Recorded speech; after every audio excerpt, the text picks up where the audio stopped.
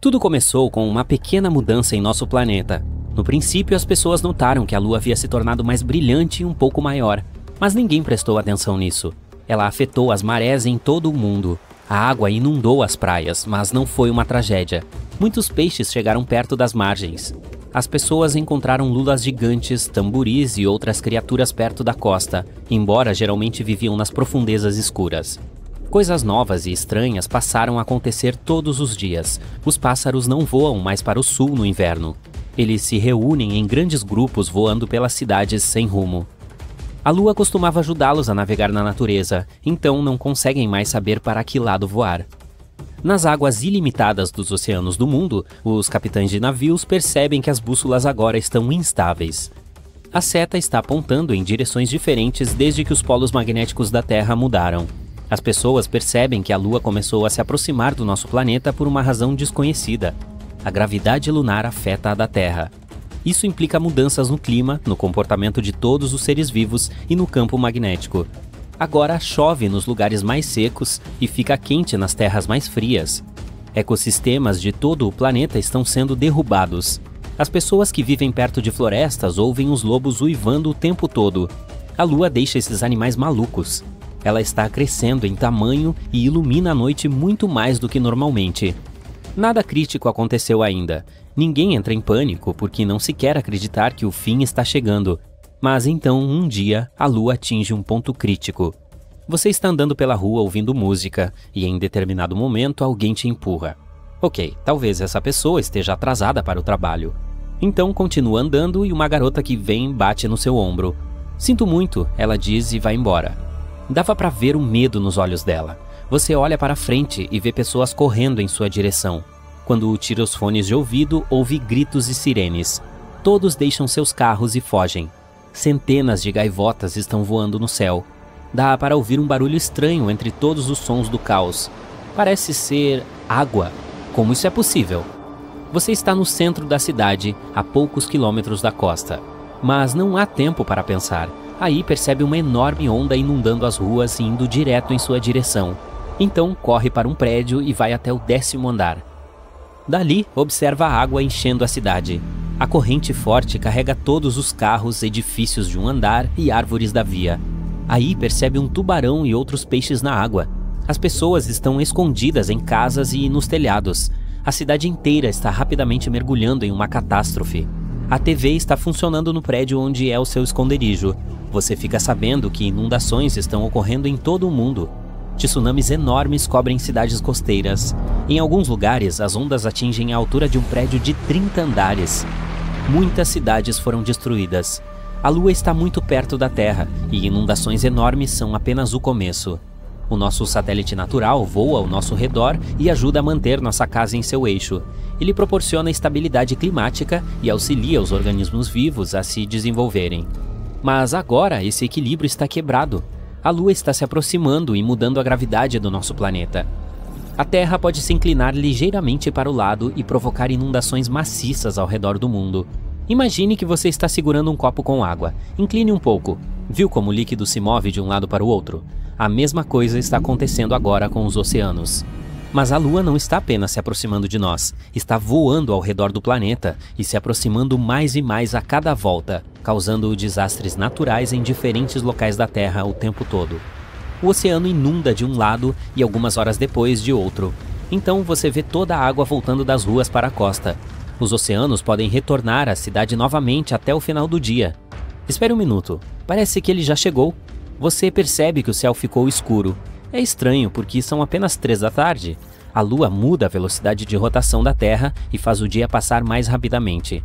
Além disso, cobre quase todo o céu e ilumina o nosso planeta. Dá para ver enormes crateras lunares. Nosso satélite está tão perto que pode ser visto mesmo quando o Sol brilha. Em alguns lugares, ela passa obscurecendo o Sol. A água está saindo das ruas e todo mundo deixa seus abrigos. Neste momento, um terremoto começa. A via está rachando e as casas estão desmoronando. Há deslizamentos de terra. As placas tectônicas estão se deslocando por todo o planeta. Imagine duas bolas magnéticas que estão se aproximando.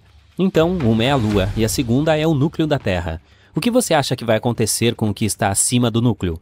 São centenas de milhares de quilômetros da crosta terrestre, e agora está tudo se movendo. Rachaduras destrutivas estão surgindo em todo o mundo. As montanhas mais altas desmoronam e se transformam em uma pilha de pedras. O fundo do mar racha e libera o magma das profundezas subterrâneas. Vulcões acordam e entram em erupção jorrando magma. Nuvens de cinzas vulcânicas impedem de ver o Sol e a Lua brilhante. Mas a coisa mais assustadora ainda está por vir: uma colisão é inevitável. A Lua voa ao redor do planeta como uma bola em um copo redondo com um buraco no centro. Essa força impulsiona nuvens por todo o mundo. Agora vem uma tempestade, mas em cinco minutos estará nevando. Então a noite chega e começa a chover. As gotículas de água consistem em lama e cinzas vulcânicas. É difícil respirar sem máscaras de gás. A pressão atmosférica está em constante mudança. Algumas pessoas sentem enxaquecas fortes, outras têm articulações doloridas. Mas não há tempo para pensar na saúde. A humanidade precisa descobrir como se salvar da colisão. Uma nova ordem gravitacional virá quando a Lua colidir com a Terra. Os continentes mudarão de forma. Eles se combinarão em um pedaço de terra gigante ou se dividirão em centenas de menores. A energia da colisão pode queimar todo o oxigênio da atmosfera e tornar o planeta inadequado para a vida. Se esconder no subsolo também não faz sentido por causa dos terremotos profundos. As pessoas decidem passar suas últimas horas com seus entes queridos. A Lua está se aproximando. Agora está na mesma distância que a Estação Espacial Internacional. E então cobre o céu. Muitas cidades estão nas sombras por causa das ondas. Tsunamis com vários quilômetros de altura caem no chão. Milhões de toneladas de magma colidem com o oceano. Bilhões de litros de água simplesmente evaporam. A umidade sobe no ar, se mistura com cinzas e inunda a terra firme na forma de nuvens cumulos gigantescas. Você aceitou a destruição completa do planeta, mas algo estranho acontece com a Lua neste momento. Então percebe que rachaduras gigantes surgem e ela lentamente começa a se dividir em duas partes, Ambas as metades se quebram em centenas de pedaços grandes. A Lua está apenas se fragmentando. A Terra não tem mais um satélite natural. É apenas um aglomerado de rochas espaciais gigantes. Mas por que isso está acontecendo? Existe um local ao redor do nosso planeta chamado limite de Roche. Neste lugar, a gravidade é mais forte do que a da Lua. Isso significa que as forças que a mantêm unida são mais fracas do que aquelas que a rasgam. As pessoas estão celebrando, o limite de Roche salvou o planeta. A Lua não vai nos atingir. Ela se divide em milhões de fragmentos e forma um círculo ao redor da Terra, que agora se parece com Saturno. Um cinturão de pedras lunares nos rodeia. Pedaços enormes destroem tudo em seu caminho, todos os detritos espaciais. Os satélites não estão mais funcionando. A humanidade perde seus meios de comunicação e navegação. As pessoas terão que usar mapas de papel novamente, a Lua manteve a órbita do nosso planeta em um certo ângulo antes desses eventos. Agora, o eixo está inclinado de forma diferente. Um hemisfério se torna mais próximo do Sol e o outro mergulha na sombra. Os polos norte e sul podem se transformar em desertos quentes e o equador do planeta pode ficar coberto de gelo. O inverno e o verão podem durar anos. Os restos da Lua voam ao redor da Terra, mas alguns caem em nosso planeta. Chuvas de meteoros lunares destroem cidades e criam crateras gigantes. Todos esses eventos levam à destruição maciça da vida na Terra. Levará centenas de milhares de anos para se adaptar ao novo mundo. Ninguém vai ouvir seu choro no espaço, ou algo assim. Todos nós já ouvimos essa frase famosa e arrepiante. E é realmente verdade. O espaço, em sua maior parte, consiste em um nada gigante, Há muito, você sabe, vazio ali. Mas isso não significa que não haja sons. Na verdade, existem muitos deles, e alguns podem até fazer você se arrepiar. Vamos dar uma olhada nos mais assustadores que vêm lá de fora. Em primeiro lugar, como eles são registrados? O som é apenas a vibração da emissão das moléculas. Quando você grita, faz com que elas sejam empurradas furiosamente até chegarem ao ouvido do interlocutor. Então, essas vibrações são transmitidas ao cérebro, reconhecidas como algo pelo qual você pode precisar se desculpar. Em outras palavras, para ouvir algo precisamos de moléculas. E é aí que as coisas se complicam. Não há nenhuma delas no espaço. O universo inteiro consiste quase completamente em vácuo. Não, não é um Hoover, é um nada absoluto. No entanto, os magos da NASA ainda gravam sons espaciais de alguma forma, Como eles fazem isso? O problema é que existem alguns tipos de ondas que não se importam com as moléculas. Nós, pessoas comuns, não podemos percebê-las sem alguns dispositivos especiais. Elas incluem, por exemplo, as de rádio. Vamos precisar de um aparelho ou algo parecido para reconhecê-las. E é exatamente isso que os satélites da Agência Espacial Americana fazem: captam as de rádio aleatórias. Graças a eles, podemos descobrir como diferentes corpos cósmicos soam.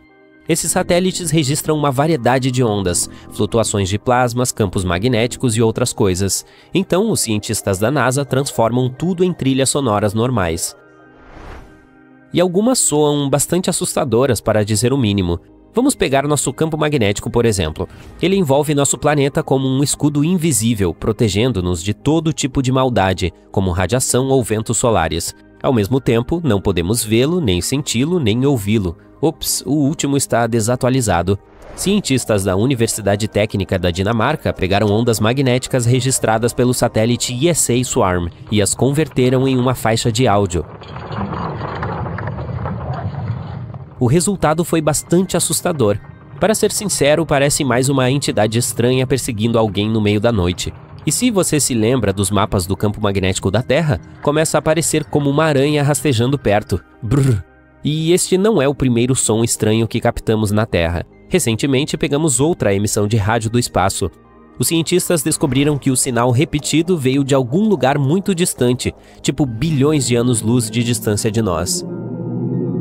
Rajadas rápidas de rádio geralmente não duravam mais do que alguns milissegundos, mas essa era a única durou cerca de 3 segundos, basicamente milhares de vezes mais do que o normal. E ao mesmo tempo, o sinal era muito preciso, tanto que os cientistas até o compararam a um batimento cardíaco. Eles acreditam que é causado por pulsares ou estrelas de nêutrons.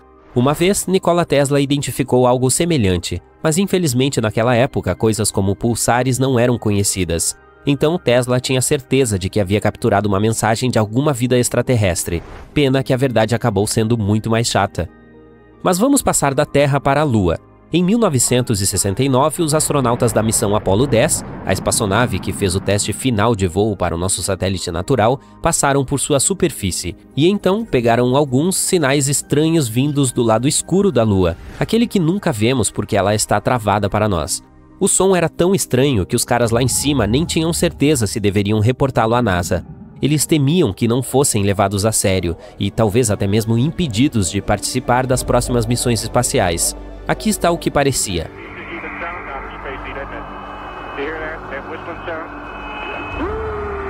Mas, de acordo com a Agência Espacial Americana, não é uma música extraterrestre assustadora podem ser apenas algumas ondas de rádio que colidiram devido à sua proximidade. Ainda assim, os astronautas que ouviram pela primeira vez provavelmente se sentiram um pouco assustados. Vamos para os outros planetas. 40 anos atrás, os pesquisadores exploraram ativamente a superfície de Vênus. Eles enviaram até 10 sondas para lá, que deveriam capturar gravações de áudio e vídeo da superfície.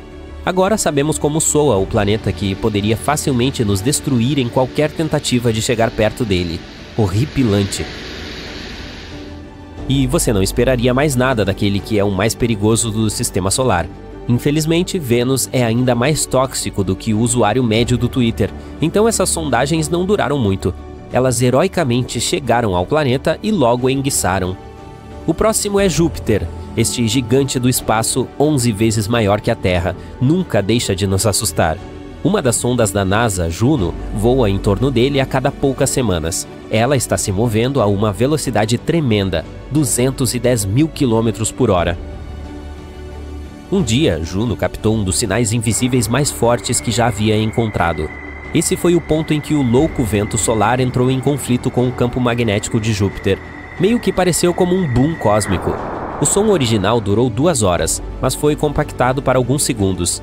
Na verdade, soa mais como uma colisão de uma onda do mar com uma rocha. Mas aqui, em termos de horror, Júpiter surpreendentemente perde para uma de suas pequenas luas, Ganímedes. Em 2021, a sonda espacial Galileu passou por lá, e durante o voo recebeu uma gravação bastante estranha, como radiação de satélite. E não está claro se lembra um dia ensolarado e aconchegante na selva ou milhares de morcegos esperando por você durante a noite. O seguinte é Saturno. Esse sinal foi capturado pela Estação Interplanetária Automática Cassini-Huygens, lançada ao espaço em 1997. Ao passar pelo planeta dos Anéis, a Cassini gravou algo bastante assustador. Esse grito aterrorizante de milhares de almas é a reprodução, na verdade, de apenas algumas ondas de rádio, e não são muito diferentes dos sons que as auroras emitem na Terra. Um pouco mais tarde, a Cassini recebeu outra gravação, os barulhos produzidos por raios e trovoadas em Saturno. Eles soam bem interessantes também, tipo como estourar pipoca ou um contador Geiger, certo? Mas isso é só porque esses relâmpagos têm uma frequência louca. Passando do sistema solar para o espaço sideral, a famosa Voyager 1 foi lançada em 1977 e continua a nos enviar dados, mesmo 40 anos após sua partida em 2012 deixou o sistema solar e entrou no espaço interestelar, e então, ao abandonar sua casa, detectou o ruído de ondas de plasma. A gravação original durou sete meses, mas felizmente os cientistas sentiram pena de nós e reduziram para 12 segundos. Não é realmente estranho, mas ainda assim meio perturbador. E embora pareça que nada pode vencer os horrores de Saturno, vamos terminar este torneio com um dos objetos mais assustadores do universo: um buraco negro. Esse som foi registrado pelo Telescópio Espacial Chandra. Enquanto estudava um aglomerado de galáxias na constelação de Perseu, ele descobriu algo estranho. Alguns movimentos ondulantes surgem do centro do aglomerado e se espalham em todas as direções, como círculos na água, os cientistas sugeriram que foi causado por um buraco negro supermassivo. O problema é que os buracos negros nem sempre devoram objetos espaciais inteiramente. Às vezes, eles meio que os cospem. Isso causa vibrações de gases, que podemos converter em trilhas sonoras. O interessante é que a oscilação de cada uma dessas ondas dura cerca de 10 milhões de anos. Você está apenas ouvindo uma gravação muito acelerada.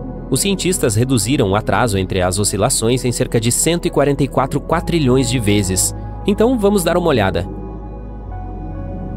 Este é provavelmente o ruído mais estranho de toda a lista. Nada muito alto ou selvagem, mas há algo sombrio e perturbador nisso. Esses foram sons espaciais mais amedrontadores já capturados pela NASA. Para ser justo, a maioria deles parece apavorante simplesmente porque são ondas de rádio, mas ainda é divertido tomar um susto às vezes.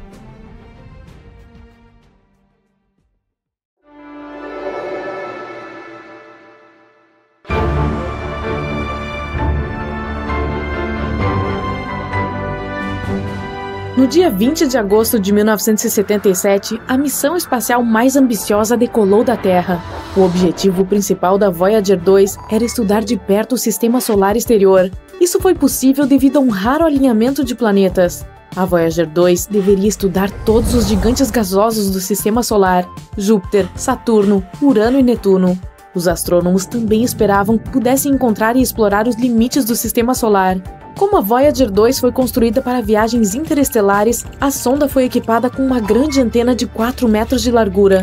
Isso permitiu que a espaçonave enviasse os dados coletados de volta para a Terra. Durante a jornada, a sonda espacial descobriu a 14ª lua de Júpiter. A Voyager 2 foi a única nave espacial a estudar todos os quatro planetas gigantes de perto. Ela foi o primeiro objeto de fabricação humana a voar além de Urano, onde encontrou dois novos anéis e dez novas luas. A Voyager 2 também voou por Netuno e registrou sua grande mancha escura, que é uma enorme tempestade giratória no hemisfério sul do planeta. A tempestade é do tamanho da Terra e se move a uma velocidade de 2.400 km por hora. Esses ventos são os mais fortes já registrados em qualquer planeta do sistema solar. Na história da exploração espacial, apenas cinco espaçonaves conseguiram deixar a atração gravitacional do sistema solar. Elas foram Pioneer 10 e 11, Voyager 1 e 2 e New Horizons. Os humanos lançam milhares de objetos no espaço. Esses objetos superam facilmente a gravidade da Terra, mas o Sol tem cerca de 300 mil vezes a massa do nosso planeta natal. É por isso que a atração gravitacional dele é muito mais difícil de combater. Ainda mais impressionante, a Voyager 2 é o segundo objeto de fabricação humana na história a alcançar o espaço entre as estrelas depois de passar pela heliosfera. Essa é uma bolha de campos magnéticos e partículas produzidas pelo Sol que protege o sistema solar. Dois anos após o lançamento, a Voyager 2 começou a transmitir as primeiras imagens de Júpiter. A sonda espacial forneceu aos cientistas informações bastante necessárias sobre Io e Europa, algumas das maiores luas de Júpiter. Em seguida, a missão espacial passou pelo próprio gigante gasoso. A distância entre a espaçonave e o planeta era de cerca de 644 mil quilômetros. Foi quando a sonda percebeu algumas mudanças na forma e na cor da grande mancha vermelha, é um enorme sistema de tempestades de longa duração, como um furacão na Terra, mas muito, muito maior. Dois anos depois, a Voyager 2 chegou em Saturno. Ela descobriu raios e dobras em alguns dos anéis do planeta. Enquanto a espaçonave voava para trás e para cima, passando pelo gigante gasoso, ela passava pelo plano dos anéis de Saturno. Naquela época, a velocidade da Voyager era de cerca de 13 km por segundo, por vários minutos, a sonda foi atingida por milhares de grãos de poeira do tamanho de um micron. Isso mudou a direção dela, e seus jatos de controle tiveram que disparar muitas vezes para estabilizar o veículo. Depois de explorar Urano e Netuno, a espaçonave rumou para fora do sistema solar. Seus instrumentos foram colocados em modo de baixa potência a fim de economizar energia. Em agosto de 2007, a espaçonave passou pelo choque de terminação, essa é a fronteira que marca o limite externo da influência do Sol. Aqui, os ventos solares diminuem. No verão de 2013, a sonda atingiu o espaço interestelar. No entanto, quando se trata de enviar e receber sinais no espaço, existem três fatores que você deve ter em mente: distância, potência e tempo. Quanto mais longe uma espaçonave está, mais longe um sinal precisa viajar antes de alcançá-la, e mais tempo leva para esse sinal alcançar a espaçonave. E quando finalmente chega lá, está extremamente fraco. Outro problema é que uma vez que a espaçonave é lançada, ela não pode ser atualizada. Ela está literalmente presa à tecnologia com a qual foi equipada. Além disso, espaçonaves como a Voyager 2 são movidas por combustível radioativo, quando um material especial decai radioativamente, ele libera calor, que é convertido em eletricidade. Infelizmente, quanto mais material se desintegra, menos energia a espaçonave tem para receber e transmitir sinais de rádio. Apesar desse problema, não perdemos a conexão com as Voyager 1 e 2. Isso porque novas e mais poderosas tecnologias surgem na Terra. Os sinais que as pessoas enviam agora podem alcançar muito mais longe do que antes. É por isso que foi possível ficar em contato com a Voyager 2, que entrou no espaço interestelar em 2018 e já viajou quase 19,3 bilhões de quilômetros de distância da Terra. Mas em março de 2020, o principal equipamento que permitia aos cientistas trocar sinais com a nave foi desligado. Depois que a comunicação com a espaçonave parou, a NASA passou cerca de 11 meses atualizando sua Deep Space Network, que em português quer dizer rede de espaço profundo, e instalando novo hardware. A DSN é uma matriz internacional de enormes antenas de rádio que ajudam os astrônomos na Terra a se comunicarem com missões interplanetárias. Essas antenas ficam na Califórnia, Madrid e Canberra. A que costumava manter contato com a Voyager é uma antena parabólica de 70 metros de largura em Canberra. Esse é o único equipamento que pode enviar comandos capazes de alcançar a sonda. Essa antena, conhecida como DSS-43, começou a operar em 1972 cinco anos antes do lançamento das Voyager 2 e 1. Naquela época, ela tinha apenas 64 metros de largura. Desde então, ela recebeu muitos reparos e atualizações, mas esses 11 meses foram o período mais longo em que a antena ficou offline. Em outubro de 2020, a antena estava finalmente pronta para um teste após todas as atualizações e reparos. Os operadores da missão enviaram um conjunto de comandos para a Voyager 2 e depois de muitos meses de silêncio no rádio, a espaçonave retornou o sinal. A sonda confirmou que ouviu o contato. Depois disso, a espaçonave executou os comandos.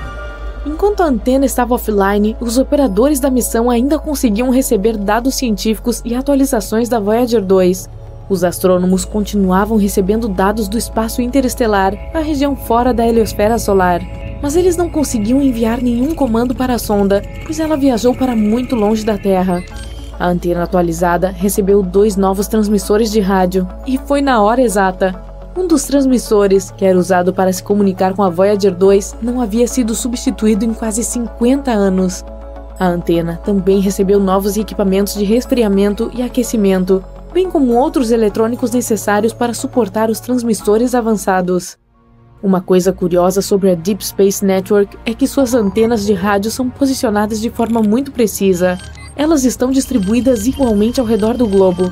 Dessa forma, quase todas as espaçonaves podem ficar em contato com pelo menos uma instalação o tempo todo, mas a Voyager 2 é uma exceção. Em 1989, ela sobrevoou Tritão, a lua de Netuno. Esse foi o único e mais próximo encontro que as pessoas tiveram com o oitavo planeta do sistema solar e sua lua. A propósito, Tritão é o maior objeto conhecido que se acredita ter nascido no cinturão de Kuiper. Esse cinturão é um anel em forma de donut ao redor do Sol, repleto de objetos de gelo. A Voyager 2 descobriu o sistema de anéis de Netuno e suas pequenas luas internas. A sonda também coletou muitas informações surpreendentes sobre Tritão. Por exemplo, ficou claro que a Lua é coberta de criovulcões. Em vez de cuspir rocha derretida, esses vulcões cospem gelo composto por água, amônia e metano. Quando a espaçonave New Horizons passou por Plutão mais de 25 anos depois, descobriu o mesmo fenômeno no planeta anão. De qualquer forma, para fazer esse desvio, a Voyager 2 teve que viajar pelo polo norte do gigante gasoso. Mas isso mudou a trajetória da sonda, desviando-a para o sul em relação aos planos dos planetas. Desde então, a Voyager 2 tem se movido nessa direção. E agora, a espaçonave está tão longe que está fora do alcance das antenas de rádio no hemisfério norte, aquelas em Madrid, na Califórnia. Isso torna a DSS-43, localizada no hemisfério sul, a única antena poderosa o suficiente para transmitir a frequência certa para enviar comandos para a Voyager 2. A Voyager 1, a gêmea da sonda de viagem rápida, não mudou sua trajetória. Depois de passar por Saturno, tomou um caminho diferente. É por isso que agora ela pode se comunicar facilmente com as duas instalações no hemisfério norte. A atualização pela qual o complexo de comunicação de espaço profundo de Canberra passou também pode beneficiar outras missões espaciais. Por exemplo, o astromóvel Mars Perseverance que pousou no planeta vermelho em 18 de fevereiro de 2021. A antena também será crucial para explorar outros planetas e a Lua. Quando você olha as fotos tiradas de espaçonaves ou pela Estação Espacial Internacional, mostrando objetos iluminados pelo Sol, como a Terra ou a Lua, só uma coisa parece errada: o espaço parece vazio demais. Não tem aquele cenário mágico do céu noturno cheio de estrelas. Seria incrivelmente chato olhar para o céu no espaço, pois ele é sempre muito escuro. Durante o dia, o céu em nosso planeta mãe é azul por causa da difusão da luz. Isso acontece quando a luz solar passa pela atmosfera. Mas se estivéssemos na Lua ou em outro lugar do espaço, não haveria atmosfera para espalhar essa luz por aí. É por isso que o céu por lá seria sempre preto. Mas isso não quer dizer que seria menos brilhante. Se você estivesse olhando pela janela da estação espacial, viria tanta luz solar direta quanto se estivesse olhando pela janela do seu apartamento em um dia nublado, talvez até mais. Quando tiramos uma foto em um dia ensolarado, geralmente configuramos a câmera para uma exposição curta e com uma abertura estreita. Assim, só um pouco de luz entrará nela. Nossas pupilas fazem o mesmo, se contraindo sob a luz solar para não terem que lidar com tanta luz. E como é muito brilhante no espaço, o processo é o mesmo quando se tira fotos de objetos iluminados pelo Sol. Usando uma curta exposição, você pode obter imagens boas e nítidas da Terra ou da superfície da Lua. Mas isso significa que não aparecerão estrelas na foto. Lá em cima, as estrelas são relativamente opacas. Elas não emitem luz suficiente para aparecer em fotos. A boa notícia é que, mesmo lá de cima, admirar as estrelas continua sendo algo super divertido. Nosso planeta mãe tem um céu azul que se transforma aos poucos em uma paleta laranja avermelhada no nascer e pôr do sol. Mas se você algum dia tiver a chance de assistir ao pôr do sol em Marte, verá que o processo é inverso o céu fica com tons laranjas e marrons durante o dia e fica azulado quando o Sol vai embora. Primeiro, Marte está mais distante do Sol que nosso planeta. Então, quando você estiver olhando para o Sol da superfície marciana, claro, ele será menor e mais apagado. E não é só isso, o Sol observado de Marte é apenas um ponto azul e branco cercado por um halo azul. A fina atmosfera do planeta vermelho contém grandes partículas de poeira. Elas criam um efeito chamado de dispersão de Mi, ele ocorre quando o diâmetro das partículas da atmosfera é quase do mesmo comprimento de onda da luz dispersada. Esse efeito filtra a luz vermelha dos raios solares, aí só a luz azul chegaria a seus olhos em Marte. Por que a Terra não tem anéis? Todos os gigantes gasosos do nosso sistema solar, Júpiter, Saturno, Urano e Netuno, têm esses anéis, enquanto os planetas rochosos, Mercúrio, Vênus, Terra e Marte, não têm. Há duas teorias sobre o provável surgimento desses anéis. Eles podem ser apenas detritos que sobraram da formação do planeta, ou podem ser resquícios de uma lua que foi destruída por uma colisão com algum corpo celeste, ou que tenha sido despedaçada por uma intensa força gravitacional de seu planeta mãe. Os gigantes gasosos se formaram mais na extremidade do nosso sistema solar, enquanto todos os planetas rochosos estão mais perto do meio, então talvez os planetas que estão no meio estejam mais protegidos de colisões que poderiam ter formado seus anéis. Há também mais luas nas extremidades do nosso sistema solar, que poderiam ser mais um motivo que explica os anéis dos planetas que estão lá. Outra coisa, planetas maiores têm gravidade mais forte. Isso quer dizer que eles conseguem manter seus anéis estáveis após sua formação. Alguns especialistas acreditam que a Terra também tinha um sistema de anéis muito tempo atrás, em tese, um objeto do tamanho de Marte colidiu com o nosso planeta, criando um anel denso de detritos ao redor dele. Já outros cientistas acreditam que esses mesmos detritos não formaram um anel, e sim o que conhecemos hoje como a Lua. É provável que exista um planeta gigante perambulando pelas extremidades do sistema solar, para lá de Netuno. Cientistas chamaram esse misterioso e hipotético mundo de Planeta 9. Se ele existe mesmo, certamente é parecido com Urano ou Netuno e dez vezes mais robusto do que o planeta em que habitamos. Ele certamente gira ao redor do Sol, mas nos confins do sistema solar, cerca de 20 vezes mais longe que Netuno. Outra teoria interessante diz que o planeta 9 pode ser um buraco negro do tamanho de uma toranja, que deforma o espaço igual a um planeta grande. Apesar de um dia termos pensado que a água era uma coisa rara no espaço, ela está presente em todo o nosso sistema solar, por exemplo, ela é encontrada em asteroides e em cometas. Ela também está presente nas crateras da Lua e de Mercúrio. Ainda não sabemos se há água suficiente para sustentar colônias humanas caso decidíssemos nos mudar para lá, mas há uma quantidade razoável de água nesses lugares. Marte também tem água, só que em seus polos. Grande parte dela está escondida nas camadas de gelo e provavelmente sob a superfície empoeirada do planeta. Europa, a lua de Júpiter, tem água, esse é o candidato mais provável que conhecemos até o momento para nos abrigar. Existe provavelmente um oceano inteiro de água líquida sob sua superfície congelada. Na verdade, ele pode conter duas vezes mais água que todos os oceanos da Terra juntos. Netuno é incrivelmente quente, mesmo sendo 30 vezes mais longe do Sol do que o nosso planeta e receber menos luz solar e calor. Mas ele irradia muito mais calor do que recebe, Lá também há muito mais atividade na atmosfera do que o esperado, principalmente em comparação com seu vizinho, Urano. Esses dois planetas emitem a mesma quantidade de calor, embora Urano esteja muito mais próximo do Sol. Ninguém sabe explicar o porquê. Netuno tem ventos extremamente fortes que podem alcançar uma velocidade de até 2.400 km por hora. Será que eles é que produzem esse calor todo? Ou será por causa do núcleo do planeta e de sua força gravitacional? Existe um buraco negro monstruoso se movimentando pelo espaço a uma velocidade de 8 milhões de quilômetros por hora. Cientistas o localizaram com a ajuda do telescópio especial Hubble. Eles acreditam que ele pesa o mesmo que um bilhão de sóis. Ele deveria estar paradinho no meio de sua galáxia de origem, mas algumas forças gravitacionais estão fazendo-o girar sem parar. Em determinado ponto, esse buraco negro vai se libertar de sua galáxia e continuar vagando pelo universo. Ainda bem que isso só vai acontecer daqui a uns 8 bilhões de anos. As tempestades solares são tão poderosas que poderiam nos deixar na total escuridão. Em julho de 2012, a tempestade solar mais forte em mais de 150 anos passou raspando na Terra. As ejeções de massa coronal, EMCs, são bolhas gigantes de gás ionizado. Elas rasgaram nossa órbita na época. Se tivessem mirado em nosso planeta, teríamos ficado na escuridão, precisaríamos ter que lidar com a matéria solar que atingiria a Terra, danificando computadores e causando apagões que teriam durado meses a fio. Uma tempestade solar inesperada nos atingiu em 25 de junho de 2022. Um fotógrafo até conseguiu capturar auroras surreais que incendiaram o céu de Calgary, no Canadá, e que duraram 5 minutos. Elas foram causadas pela tempestade. Estrelas vampiras existem mesmo, elas fazem parte de uma estrela binária e podem literalmente sugar a vida de outra estrela no sistema. Elas fazem isso para continuar queimando por mais tempo. Funciona da seguinte forma: uma estrela menor com menos massa rouba o hidrogênio de sua irmã para aumentar sua própria massa. Essa estrela vampira então se torna mais quente e sua cor muda para um azul vibrante. Assim ela parece muito mais jovem. Que sacanagem, hein? A cor do universo é apelidada de café com leite cósmico.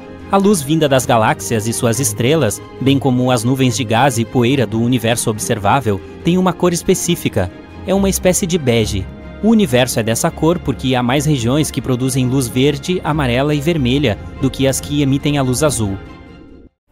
Você sabia que existe um objeto astronômico no qual o espaço e o tempo realmente trocam de lugar? Como funciona? E o que exatamente significa trocar espaço e tempo? Bem, vamos descobrir. Imagine que você está em uma espaçonave. O veículo só pode se mover em linha reta. Seu caminho leva a algum ponto inevitável e você não tem ideia do que está por vir.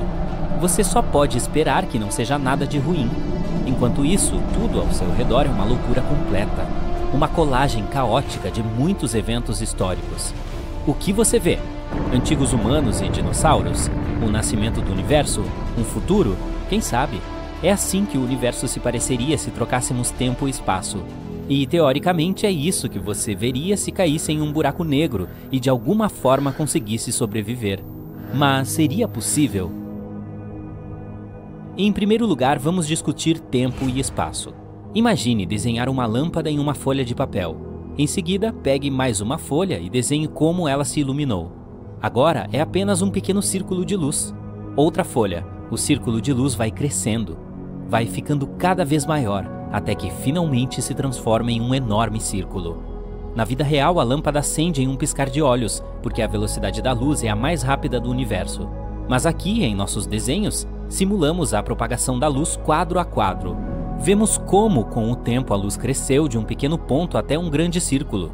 Mas se você conectar esses círculos, a forma resultante não te lembra algo? Por exemplo, um cone? Sim, exatamente. Isso é chamado de cone de luz, e o tempo é o eixo central desse cone. Por quê? Porque a luz se transforma de um pequeno ponto em um grande círculo ao longo do tempo. Para lembrar, vamos desenhar um vetor de tempo, uma flecha dentro do cone. Vai do passado para o futuro. Enquanto isso, os círculos são o espaço. No espaço, podemos nos mover como quisermos, em qualquer direção. Podemos nos mover para cima ou para baixo, em zigue-zagues e assim por diante. Mas não importa os zigue-zagues que desenhemos, estamos sempre avançando ao longo da linha do tempo. Não podemos voltar no tempo e não podemos pará-lo. Isso nos ajuda a definir tempo e espaço. O tempo é a direção na qual o cone de luz é orientado. Esta é a direção para onde nos levam todos os nossos caminhos e onde está inevitavelmente o nosso futuro e o espaço é toda a variedade de direções perpendiculares à linha do tempo. Este é um gráfico direto. Se pudesse ser aplicado a todo o universo, então o tempo fluiria da mesma forma em todos os lugares. No entanto, se você assistiu a pelo menos alguns filmes populares de ficção científica, sabe que esse não é o caso. Na realidade, o tempo pode ser uma loucura. Por exemplo, se você está relaxando perto de um buraco negro, o que serão duas horas para você, podem ser 20 anos para seu amigo na Terra. Mas por quê? Respire fundo. Agora a gravidade entra em ação. Oh, eu sei sobre a gravidade. É aquela coisa que me ajuda a ficar no chão, você pode pensar. Mas é muito, muito mais complicado do que isso. A gravidade é uma das forças físicas básicas em nosso mundo e é incrivelmente poderosa. Na verdade, ela é uma garota tão poderosa que pode distorcer o espaço e o tempo ela literalmente pode influenciar a velocidade do tempo como uma maga todo-poderosa. Como? Bem, vamos pegar algo um pouco maior que uma lâmpada. Por exemplo, uma supernova. Em algum lugar do universo, uma estrela acaba de fazer um boom. Como sabemos? Bem, nada no universo, nenhum som, nenhuma onda de rádio, nada viaja mais rápido que a luz. Portanto, saberemos sobre o nascimento de uma supernova apenas quando o virmos. E isso só acontecerá quando seu cone de luz crescer o suficiente e atingir nosso planeta. Então o cone de luz cresce e cresce. Até agora está tudo bem. E finalmente chega ao nosso planeta. Mas há um porém. Veja, nosso planeta é enorme, muito maciço e tem uma gravidade muito forte. O que acontece então? A gravidade muda a direção do cone de luz. Ela começa a atrair o cone para o centro do nosso planeta e com ela atrai também a nossa flecha do tempo. Isso significa que retarda o tempo. E quanto mais próximo o cone de luz está de nós, mais a flecha se curva e mais devagar o tempo passa. O que isso significa? Por exemplo, o fato de que o relógio em seu tornozelo ficará atrás do relógio em seu pulso, que sua cabeça está envelhecendo mais rápido que suas pernas e que os astronautas na órbita da Terra envelhecem um pouco mais devagar do que as pessoas na Terra. É o que os cientistas chamam de relatividade geral. Certo, mas como isso se relaciona com o nosso assunto? Como podemos entender o que acontecerá se trocarmos espaço e tempo? Não se preocupe, estamos quase lá. Agora imagine um corpo cósmico com uma gravidade incrivelmente forte. Ele dobra tanto o tempo e o espaço que parece que eles trocam de lugar. Este é um buraco negro. Um buraco negro atrai absolutamente tudo para o seu centro. Nenhuma estrela, planeta, nenhuma luz pode escapar de lá. Digamos que nosso cone de luz esteja se aproximando dele. Primeiro, como sempre, o tempo começa a se curvar em direção ao centro do buraco negro, atraído por sua gravidade. Mas a gravidade é muito forte, então ele se curva cada vez mais. E quanto mais perto você está do centro, mais o tempo passa devagar. No final, o cone de luz cruza a fronteira do buraco negro, o chamado horizonte de eventos. Nesse ponto ficou tão distorcido que agora está literalmente apontando para baixo. Podemos dizer que o tempo mudou de direção. O tempo está apontando para baixo. Que bobagem é essa? Você pode perguntar. Será mais fácil explicar em um exemplo real. Imagine que você é um astronauta louco que decidiu pular em um buraco negro e alguém em uma nave espacial que observa você fazendo isso por algum motivo. A princípio, para você, nada muda. Você olha para o relógio, vê que cinco minutos se passaram e está tudo bem. Mas e para o observador? Em primeiro lugar, você vai cair por muito tempo. O observador está sentado lá há 50 anos e você ainda está caindo. Tudo porque seu tempo diminuiu em segundo lugar, como o espaço também é distorcido perto do buraco negro, o observador verá como você começará a se esticar como espaguete. A propósito, isso é cientificamente chamado de espaguetificação. E então você finalmente cruza o horizonte de eventos.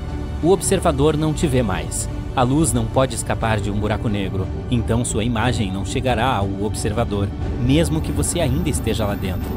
E você? E se você de alguma forma sobrevivesse? Lembre-se, a seta do tempo está apontando para o centro do buraco negro. O que isso significa?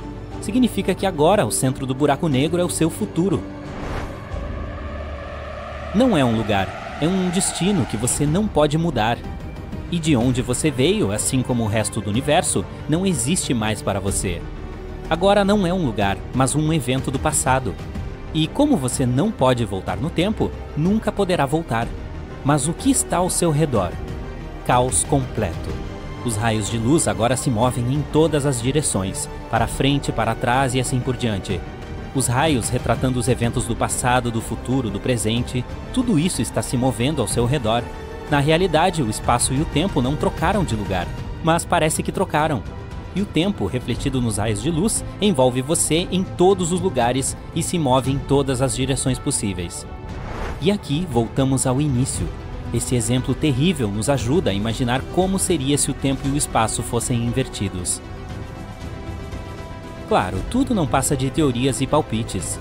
A própria ideia de que estamos nos movendo em uma direção, aquela que não escolhemos, e há um completo caos temporal ao redor, parece bastante assustadora. No entanto, seria uma experiência muito interessante. Parece perigoso. Vai lá, pode passar na minha frente. É normal que os planetas fiquem um pouco inclinados para o lado. A inclinação da Terra é de 23 graus e é por isso que temos as estações. É verão quando a parte do mundo onde você está fica mais próxima do Sol. Também funciona da maneira oposta. É inverno quando você está na parte mais afastada dele. No entanto, Urano está inclinado mais do que o normal. Encontra-se em um ângulo de 98 graus, o que tem um enorme efeito em suas estações. Cada estação lá leva 21 anos para terminar. Algo para pensar na próxima vez que reclamarmos que o inverno parece durar para sempre. Aqui na Terra, medimos distâncias em minutos e horas, talvez até dias. Leva 10 minutos para caminhar até a casa do seu melhor amigo ou 15 minutos para dirigir até o seu café favorito. Mas no espaço é diferente. É vasto, o que significa que medimos quanto tempo leva para chegar a um certo ponto em anos, ou, na maioria dos casos, anos-luz. Então, se um dia você quiser caminhar até a Lua, seriam necessários 9 anos para percorrer os 385 mil quilômetros. Talvez você queira dar um passeio até a estrela mais próxima, próxima a Centauri. Se você mantiver o pé no fundo a uma velocidade constante de 113 km por hora, chegará lá em cerca de 356 bilhões de horas, ou cerca de 40,5 milhões de anos. Confie em mim, depois dos primeiros 20 milhões de anos, você estaria se perguntando por que ir até lá. Marte contém o maior vale que descobrimos até agora, Vales Marineris. É um sistema bastante impressionante de canyons de 4 mil quilômetros de comprimento. Isso é cinco vezes mais do que o Grand Canyon. Pesquisadores o detectaram pela primeira vez na década de 1970. Um banco de vulcões localizado do outro lado da cordilheira do Canyon provavelmente ajudou a formar este vale. Ainda não descobrimos um planeta completamente feito de diamantes, mas em alguns planetas, na verdade, chove diamantes. Em Júpiter e Saturno, gigantes gasosos do nosso sistema solar, tempestades de raios transformam abundante metano em fuligem, que também conhecemos como carbono.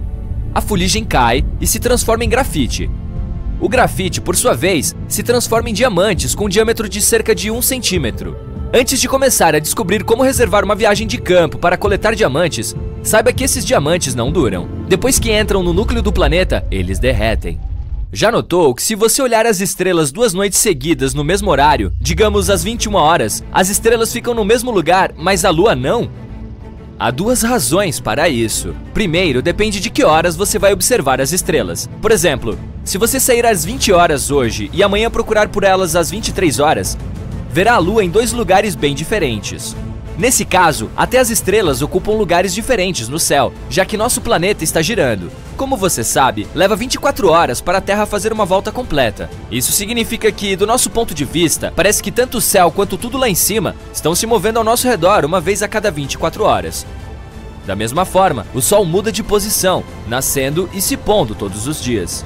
Então, se você sair duas noites seguidas na mesma hora na maioria dos casos, terá que esperar mais meia hora ou até mais até que a Lua volte à mesma posição da noite anterior. As estrelas estão praticamente paradas. Parece que estão se movendo, mas isso é só porque a Terra está girando. Mas a Lua está realmente se movendo ao redor do nosso planeta, e ela passa por diferentes fases. Por exemplo, uma lua nova é quando está completamente escuro no céu. Uma lua cheia é quando seu lado diurno está voltado para a Terra. Demora cerca de um mês para a Lua dar uma volta completa ao redor da Terra.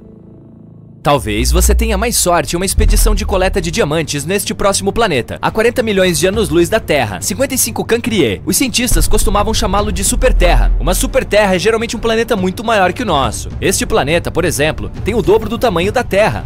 Está tão perto de sua estrela que faz um círculo completo ao seu redor em menos de 18 horas, o que significa que o ano lá é bem curto.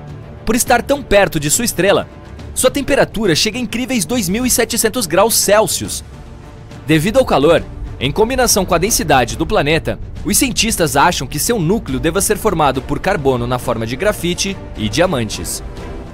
Há mais de 10 anos, os astrônomos descobriram uma enorme nuvem de vapor de água a 12 bilhões de anos-luz do nosso planeta. Essa nuvem é a maior fonte de água que conhecemos. É também a mais antiga, datando de quando o universo tinha apenas 1,6 bilhão de anos. Agora tem 13,8 bilhões de anos. Cara, se eu tivesse começado uma poupança 12 bilhões de anos atrás, com os juros, eu teria uma pilha de dinheiro agora. Mas eu não estava por perto. De qualquer forma, essa nuvem é tão grande que detém 140 trilhões de vezes a quantidade de água em todos os oceanos do nosso planeta. Essa nuvem meio que alimenta um buraco negro. Também pode conter gases suficientes, como monóxido de carbono, para encorajar o buraco negro a crescer seis vezes mais do que é no momento.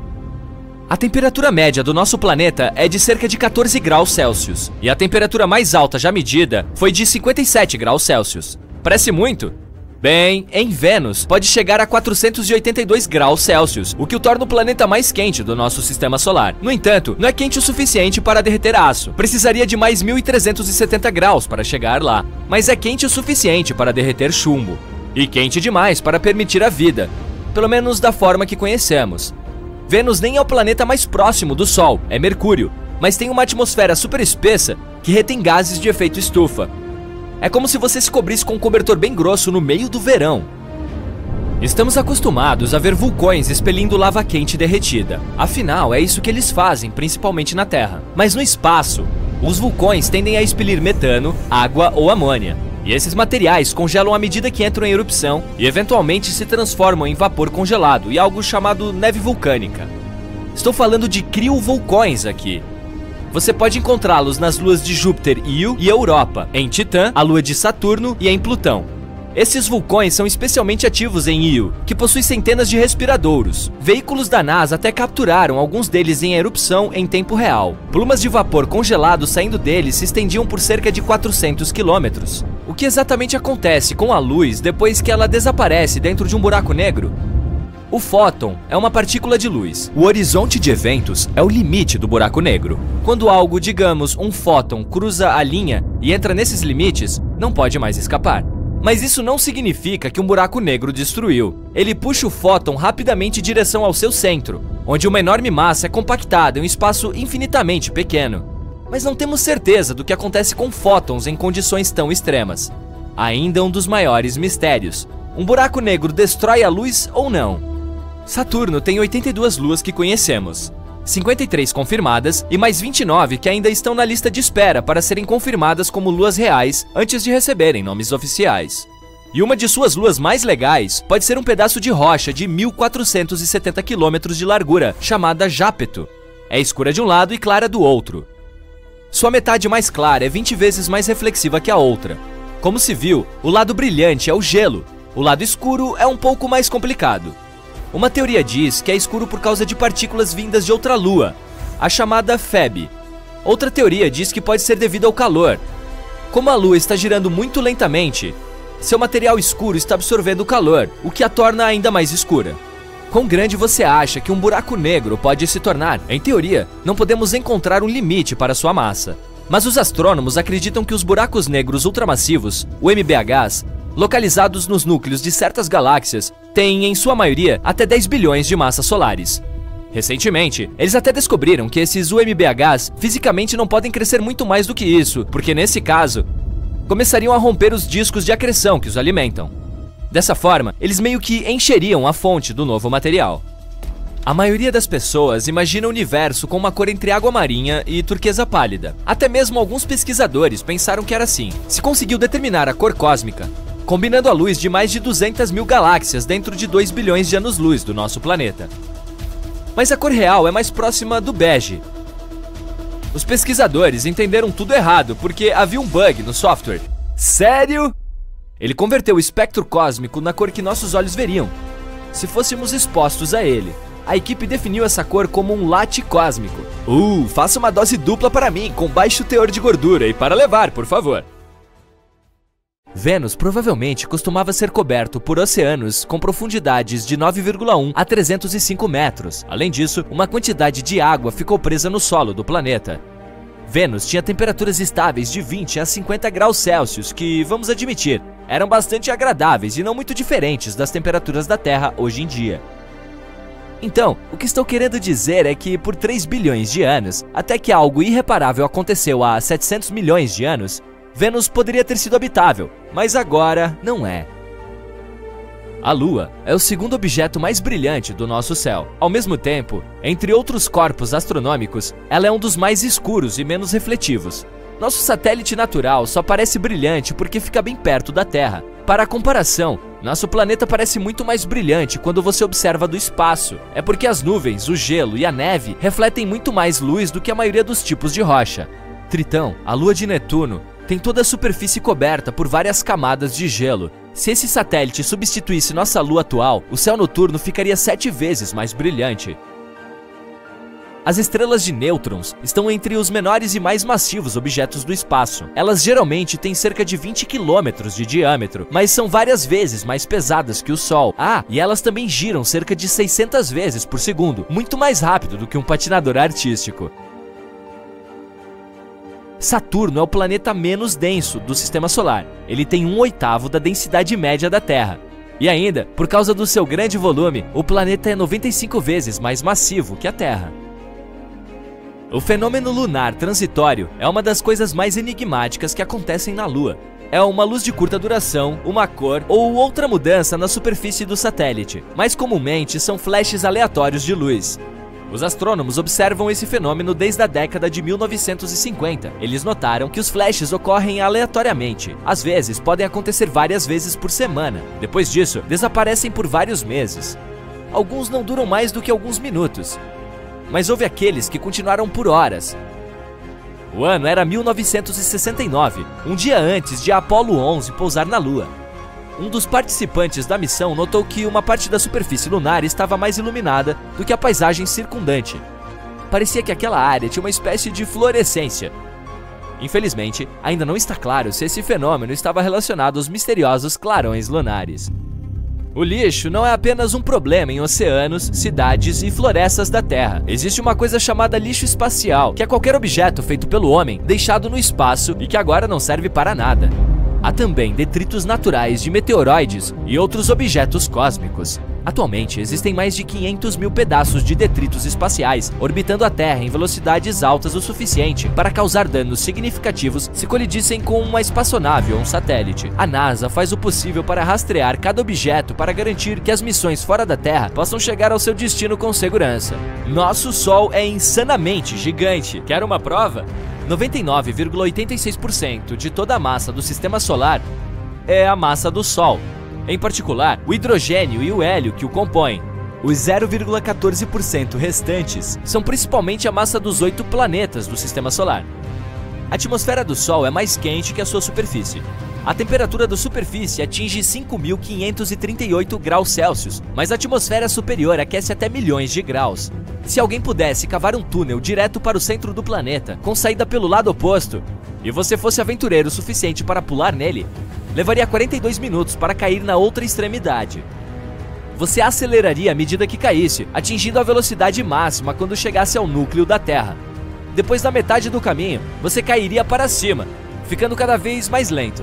Quando alcançasse a superfície oposta, sua velocidade voltaria a zero. A menos que não conseguisse sair do buraco, você imediatamente começaria a cair novamente, de volta para baixo ou para cima, para o outro lado do planeta. Essa viagem ia durar para sempre, graças aos estranhos efeitos da gravidade. Pode ser uma maneira divertida de passar uma tarde. Pode haver mais metais como titânio ou ferro em crateras lunares do que os astrônomos achavam. O principal problema com essa descoberta, ela contradiz a principal teoria sobre como a Lua se formou, que diz que o satélite natural da Terra foi desmembrado do nosso planeta após uma colisão com um objeto espacial massivo. Mas então, por que a crosta pobre em metais da Terra tem muito menos óxido de ferro do que a da Lua?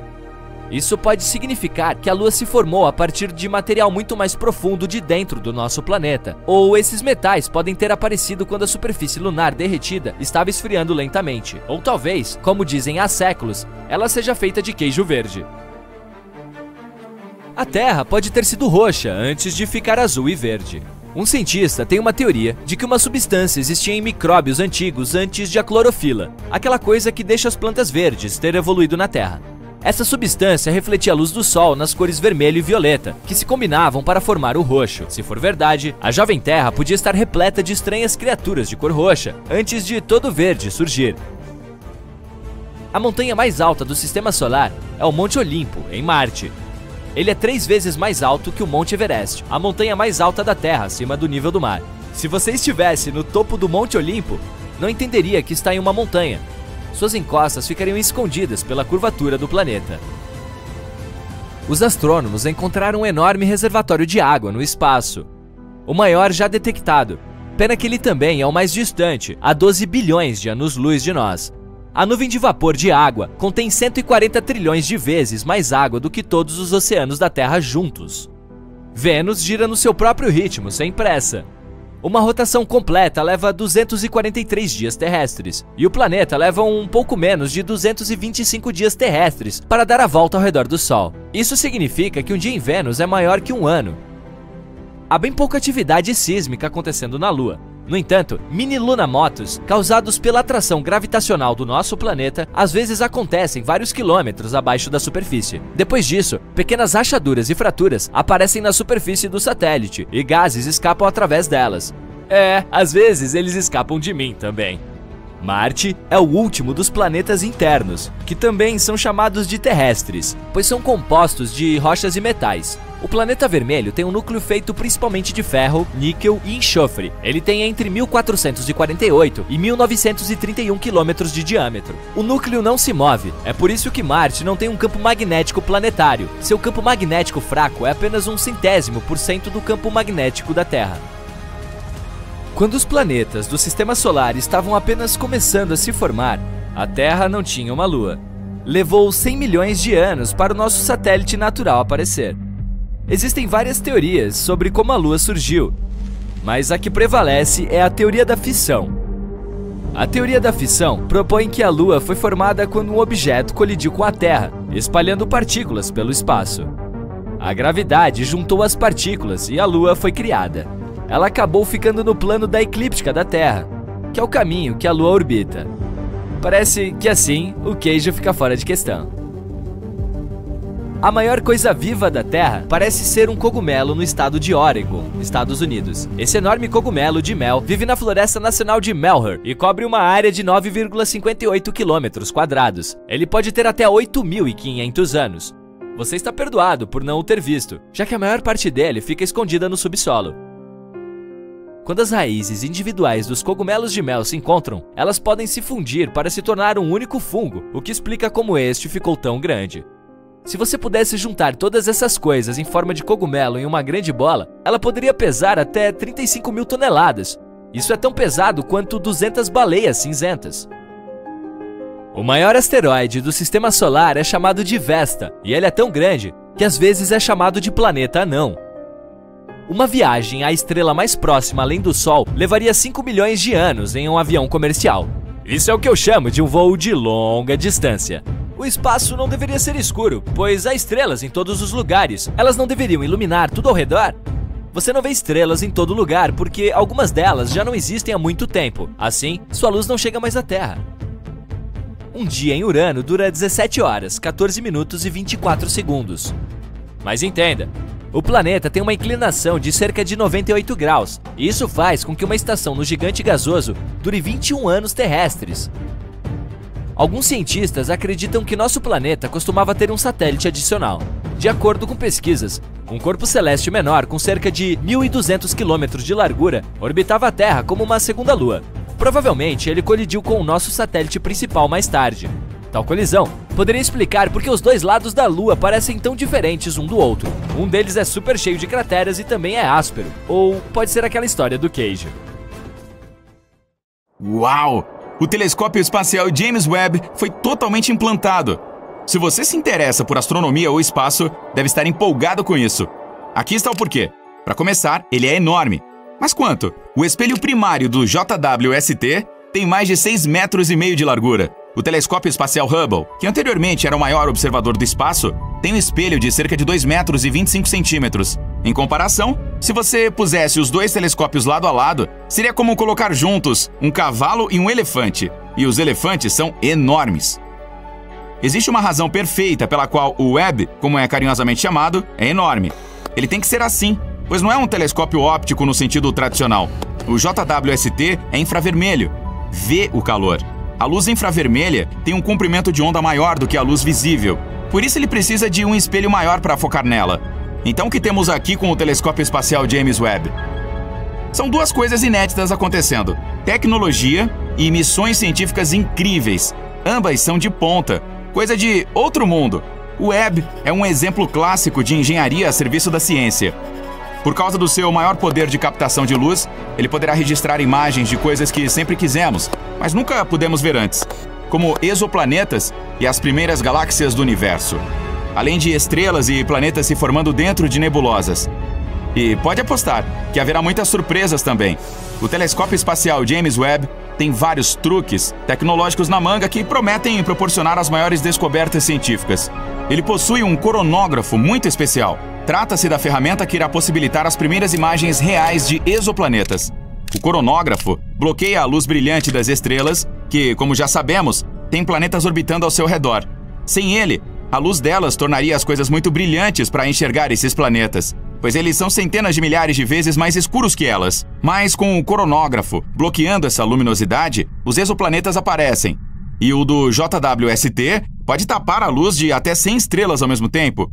Podemos esperar um enxame de exoplanetas. Isso nos leva ao próximo equipamento de alta tecnologia que o telescópio tem na manga: um espectrógrafo sem fenda. Normalmente, um espectrógrafo comum terá uma fenda para permitir que um fiapo de luz entre e seja difratado. A difração é a dispersão da luz para revelar o espectro dos comprimentos de onda componentes dessa luz. Mas o trabalho do telescópio espacial James Webb é tão sensível que um fiapo de luminosidade sobrecarregaria a ótica. Então, um espectrógrafo sem fenda foi instalado. A luminosidade das estrelas, captada pelo grande espelho, é mandada para um cabo de fibra ótica para enviar apenas um único ponto de luz para o espectrógrafo. E é aí que o grismo toma conta. Isaac Newton usou um prisma para descobrir o espectro da luz solar, o Roy G. Biv. Mas o Webb usa um grismo, que na tradução do inglês é algo como um prisma raspado, isso significa que ele tem sulcos minúsculos que difratam o ponto de luz que o grande espelho envia pelo cabo de fibra ótica para o espectrógrafo. A ciência de ler um espectro de luz é chamada de espectroscopia. Ao analisar os espectros de luz dos exoplanetas, o JWST determinará quais gases existem nas atmosferas deles, bem como a densidade e até a temperatura. É um avanço incrível do nosso conhecimento. Seremos capazes de dizer se um planeta tem oxigênio, ou nitrogênio, ou metano, além de outros gases que podem, ou não, indicar se ele é habitável. Quem sabe outra Terra? Atualmente o Webb está parado em seu local permanente. Ao contrário do telescópio espacial Hubble, que orbita a Terra, o James Webb orbita o Sol, em um dos pontos de equilíbrio gravitacional entre o sistema Terra-Sol. Ele simplesmente fica lá, sem precisar usar muito ou nenhum combustível para manter sua posição. Assim, à medida que a Terra gira ao redor do Sol, o Webb permanece estacionado, em um ponto que também orbita a estrela. Existem cinco pontos de equilíbrio gravitacional entre a Terra e o Sol.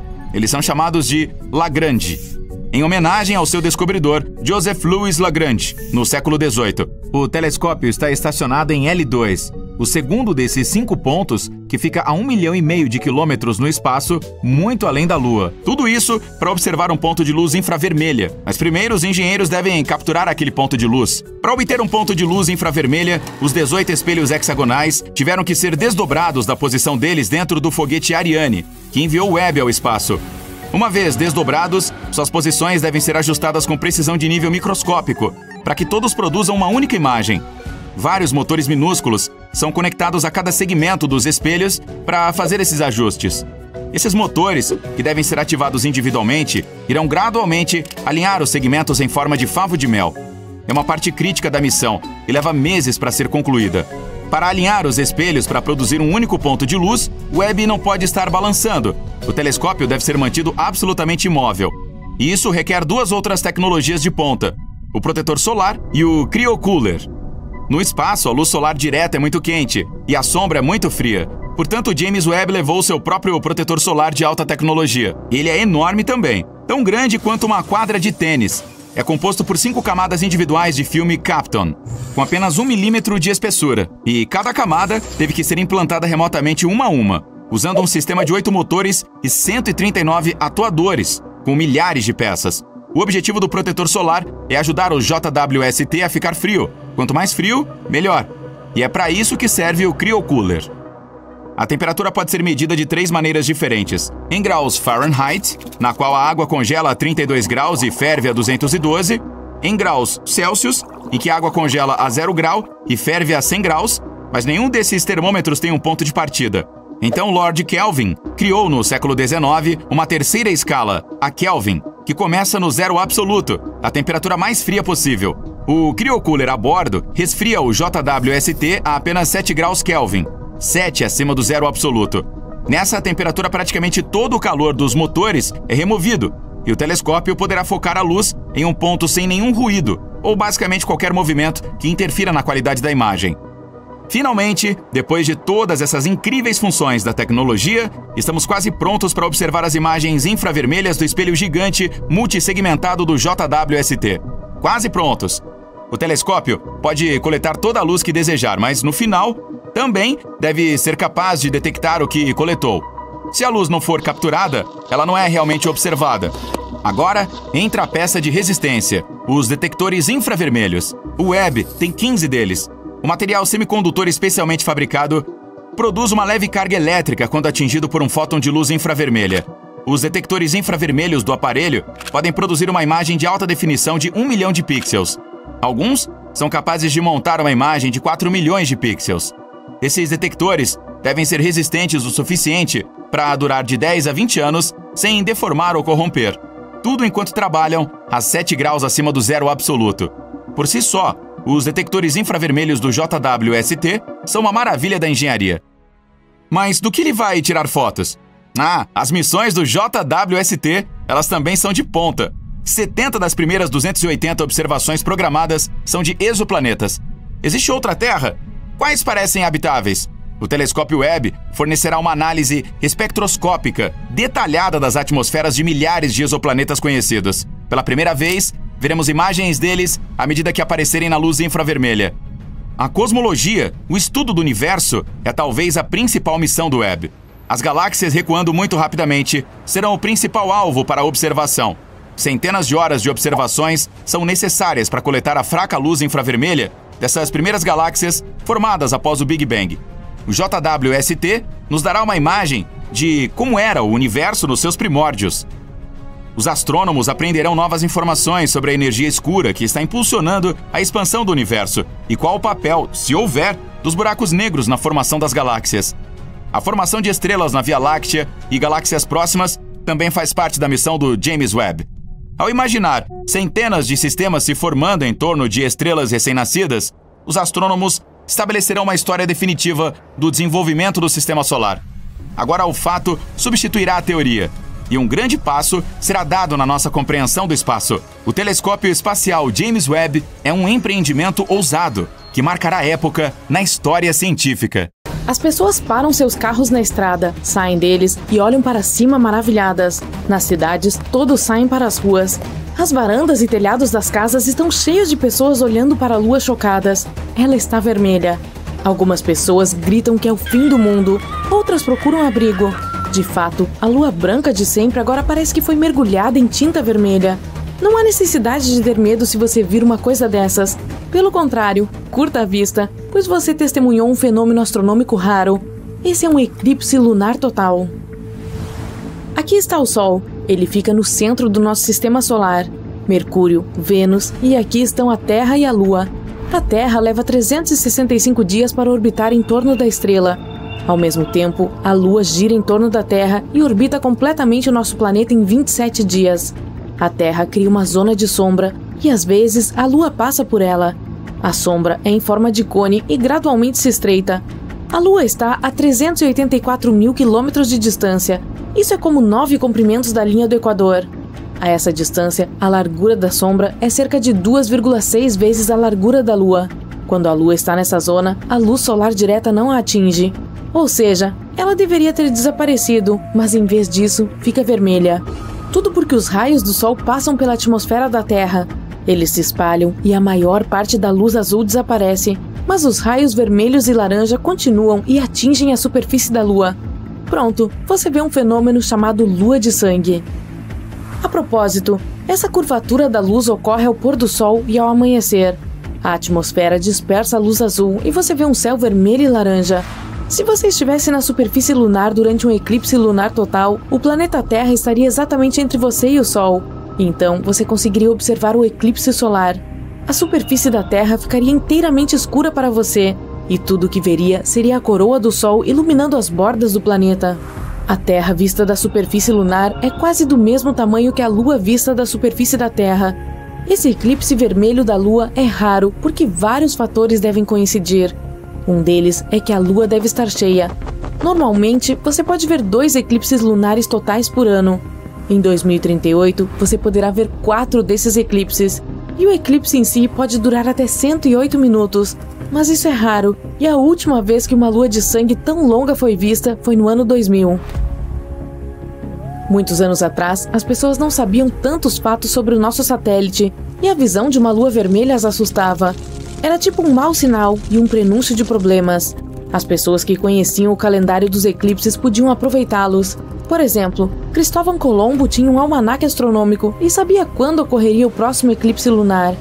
Ele assustou os habitantes das ilhas do Caribe quando previu a lua vermelha. Uma vez, há 4 bilhões e meio de anos atrás, a lua estava uma bola vermelha de lava.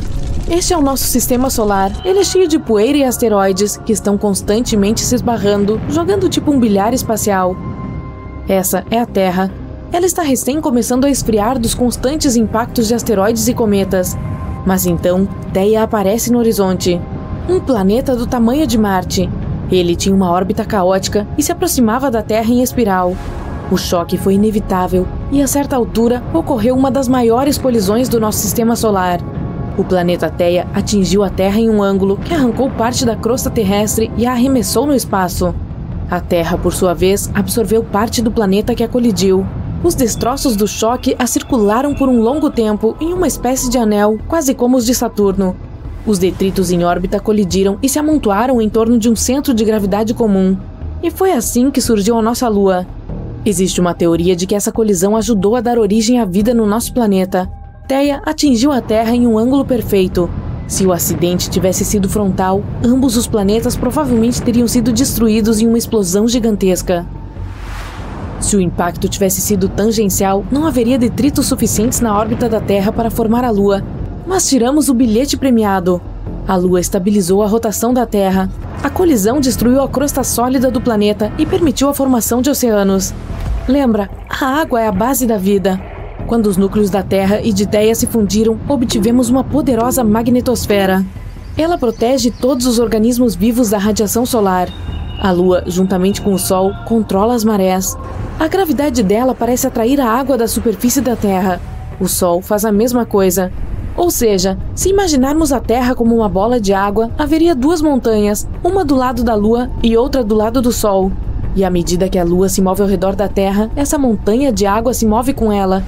Se você estivesse em mar aberto com uma trena, veria que a Lua atrai a água para si em torno de 10 a 15 centímetros. A Lua está gravitacionalmente presa com a Terra.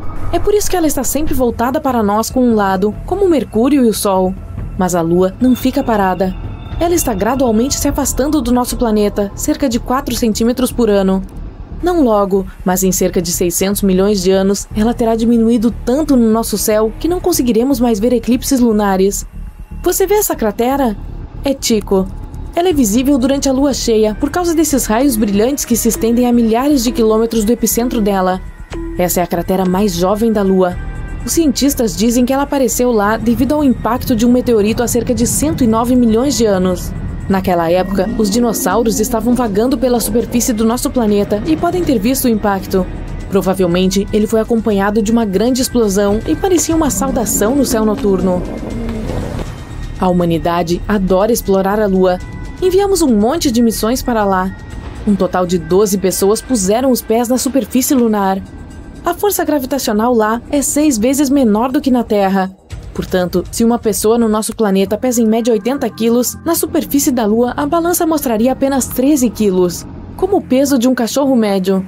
É por isso que os astronautas se moviam, pulavam e caíam de maneira tão estranha lá. E você seria seis vezes mais forte na superfície da Lua, Aqui na Terra, uma pessoa em média consegue levantar cerca de 60 quilos, mas na Lua você conseguiria erguer uma motocicleta grande ou um urso cinzento. A superfície lunar é coberta com regolito, que é a poeira lunar que cobre o solo. Essa poeira é boa para preservar as pegadas. Aqui está a pegada mais famosa, que deu origem a muitas teorias malucas. Essa é a pegada, e aqui está o sapato que a deixou. Mas o sapato é completamente plano. Isso é explicado de forma simples. Os astronautas usavam botas extras para caminhar na superfície lunar, que tem exatamente o tipo de sola que deixou essas marcas. Além das pegadas, deixamos muitos objetos fascinantes na Lua. Vários astromóveis lunares, uma bola de golfe, bandeiras e resíduos humanos. Há também muitos satélites estragados e partes de foguetes. Ao todo, cerca de 187 mil quilos de objetos feitos pelo homem estão lá, esse é o peso de três aviões de passageiros ou 31 elefantes adultos. No futuro, planejamos retomar as missões à Lua. Novas sondas irão explorar a superfície do nosso satélite para encontrar recursos naturais lá. Ela também é um ótimo lugar para testar novos astromóveis. Vamos até construir algo como a Estação Espacial Internacional na órbita da Lua, a plataforma orbital lunar, que será conveniente para explorar nosso satélite e lançar naves espaciais no espaço. Se você partir daqui, a espaçonave não precisará gastar quase todo o combustível dela para vencer a força da gravidade terrestre. Assim, a estação economizaria combustível e dinheiro. Os cientistas esperam que possamos extrair água da superfície da Lua. Está provado que há gelo lá, principalmente no fundo das crateras onde a luz do Sol não chega. Talvez enviemos um astromóvel para lá que possa perfurar alguns metros na superfície em busca de água. A humanidade já tem tecnologia para construir uma colônia completa que levaria até três dias para chegar lá. Só precisamos de painéis solares e materiais de construção suficientes para a Lua. Não há atmosfera na Lua. Assim, os potenciais habitantes lunares estariam indefesos contra a radiação solar. Teríamos que construir casas no subsolo para fornecer proteção. As impressoras 3D modernas ajudarão a tornar a construção fácil e rápida. No entanto, os suprimentos de comida e água só podem ser mantidos por suprimentos constantes da Terra. O mesmo vale para o oxigênio. Cada lançamento de foguete custa milhões de dólares. Então, por enquanto, a colonização da Lua está em questão. A Lua também pode se tornar um objeto para o turismo espacial. Imagine, uma nave espacial é lançada da Terra três dias de viagem e você está orbitando a Lua. O módulo lunar se desencaixa e você pousa na superfície dela. Você monta o astromóvel, explora as crateras e depois retorna ao módulo de pouso. Os motores ligam, o módulo de aterrissagem o leva de volta à órbita. Você atraca com a nave e retorna à Terra. Parecem ótimos planos para uma semana de férias. O Sol é uma estrela de tamanho médio, e ainda assim poderia conter 1 milhão e 300 mil terras. A estrela também é 333 mil vezes mais pesada que o nosso planeta. A NASA traduziu as ondas de rádio criadas pelas atmosferas dos planetas em sons audíveis. Foi assim que os astrônomos descobriram que o som de Netuno parece com o de ondas do mar, o de Júpiter como estar debaixo d'água, e a voz de Saturno lembra a música de fundo de um filme de terror. Aqui na Terra é jazz. Não, eu inventei isso. A superfície solar é escaldante, mas um relâmpago é cinco vezes mais quente. A Terra é atingida por 100 raios a cada segundo, o que resulta em 8 milhões de relâmpagos por dia e cerca de 3 bilhões por ano. Chocante. Se você conseguir ir à Lua um dia e notar pegadas frescas, isso não significa que há mais alguém lá com você. Pegadas ou marcas semelhantes lá podem durar um milhão de anos, pois a Lua não tem atmosfera. Não há ventos, nem mesmo uma brisa que possam apagar lentamente essas pegadas. Os astrônomos encontraram o maior buraco já observado no universo. É o vazio gigante que se espalha por um bilhão de anos-luz. Ele foi encontrado acidentalmente. Um dos membros da equipe de pesquisa estava um pouco entediado e queria verificar como as coisas estavam na direção do ponto frio.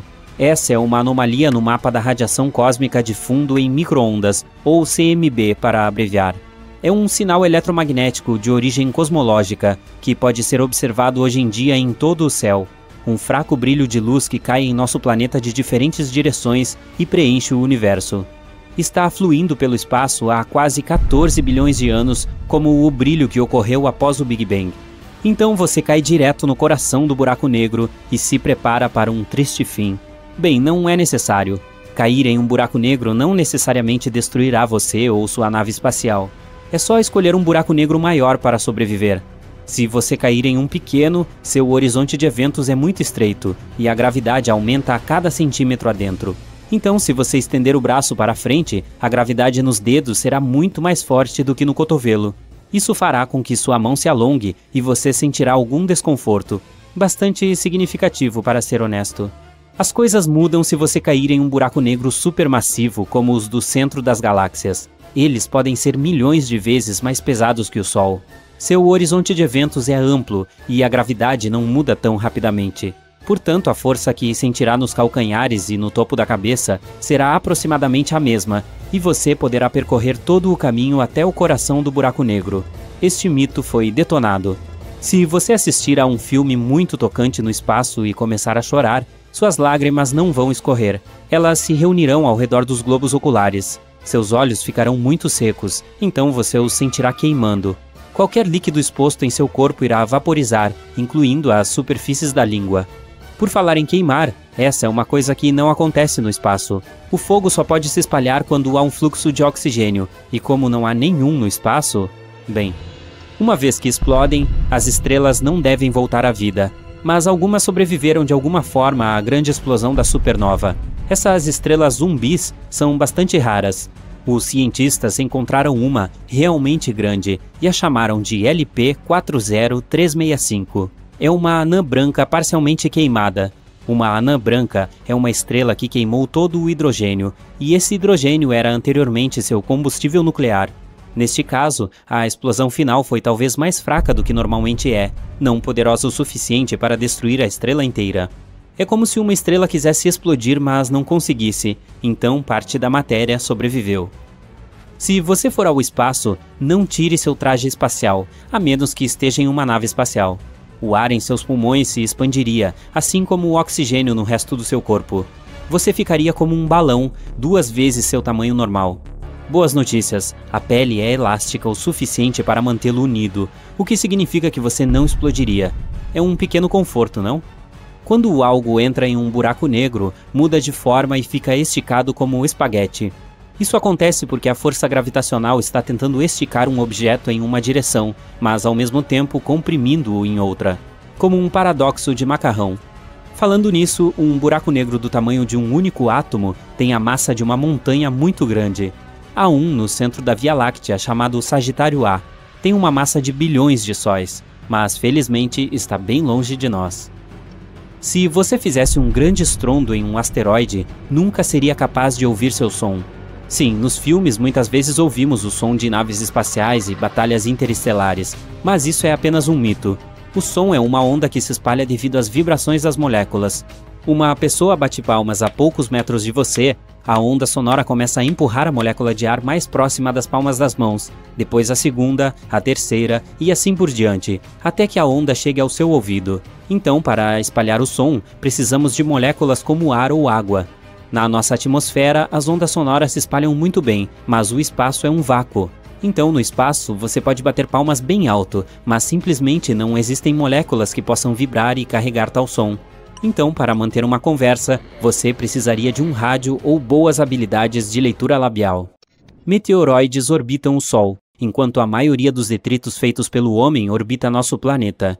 Por exemplo, lançamos quase 9 mil naves espaciais em todo o mundo, de satélites a foguetes. Mesmo os menores pedaços podem danificar uma espaçonave em velocidades tão altas. Galáxias, planetas, cometas, asteroides, estrelas, corpos espaciais são coisas que podemos realmente ver no espaço. Mas eles representam menos de 5% do universo total, a matéria escura, um dos maiores mistérios do espaço, é o nome que usamos para toda a massa do universo que ainda é invisível para nós. E isso é muito, pode ser até 25% do universo. A energia escura é os outros 70% do universo. Hum, tô fazendo as contas aqui. Isso dá 100, certo? Ok. Agora vamos olhar para a Lua. Ela sempre está do mesmo lado. Isso significa que ela tem um lado escuro e os raios do Sol nunca chegam lá. Não, isso é um mito. A questão toda é que a Lua está gravitacionalmente travada com a Terra. Há dias e noites lá também. É que essa rotação está perfeitamente alinhada com a rotação da Terra. Então, sempre que você olha para a Lua, vê o mesmo lado. Portanto, há dias em que o Sol também brilha lá. Então, o outro lado não é o lado escuro, mas o lado distante. E temos até fotos dele. E lá está uma das maiores crateras de todo o nosso sistema solar, a Bacia do Polo Sul Aitken é tão grande quanto o estado do Texas. Um mito que acabou sendo detonado é o de que as pessoas nunca estiveram na Lua. Este é o traje espacial original dos primeiros astronautas que estiveram lá. Olhe para a sola do sapato. Algumas pessoas afirmam que não há como deixar pegadas como esta lá. Na verdade, é possível sim. Na Lua, os astronautas usavam botas extras sobre seus trajes, e as solas combinavam perfeitamente com as pegadas deixadas lá. Os astronautas não precisavam delas quando saíram da Lua e as jogaram quando a caminhada acabou. Eles deixaram um monte de coisas lá também, até mesmo braços dos assentos no módulo lunar para reduzir o peso.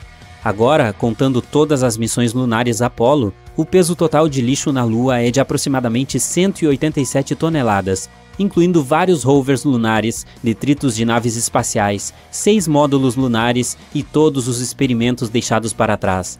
Isso corresponde a 3 Boeing 737. Outro mito sobre o Sol é que ele é amarelo. Vamos enviá-lo para o espaço. Você olha pela janela e ele está branco.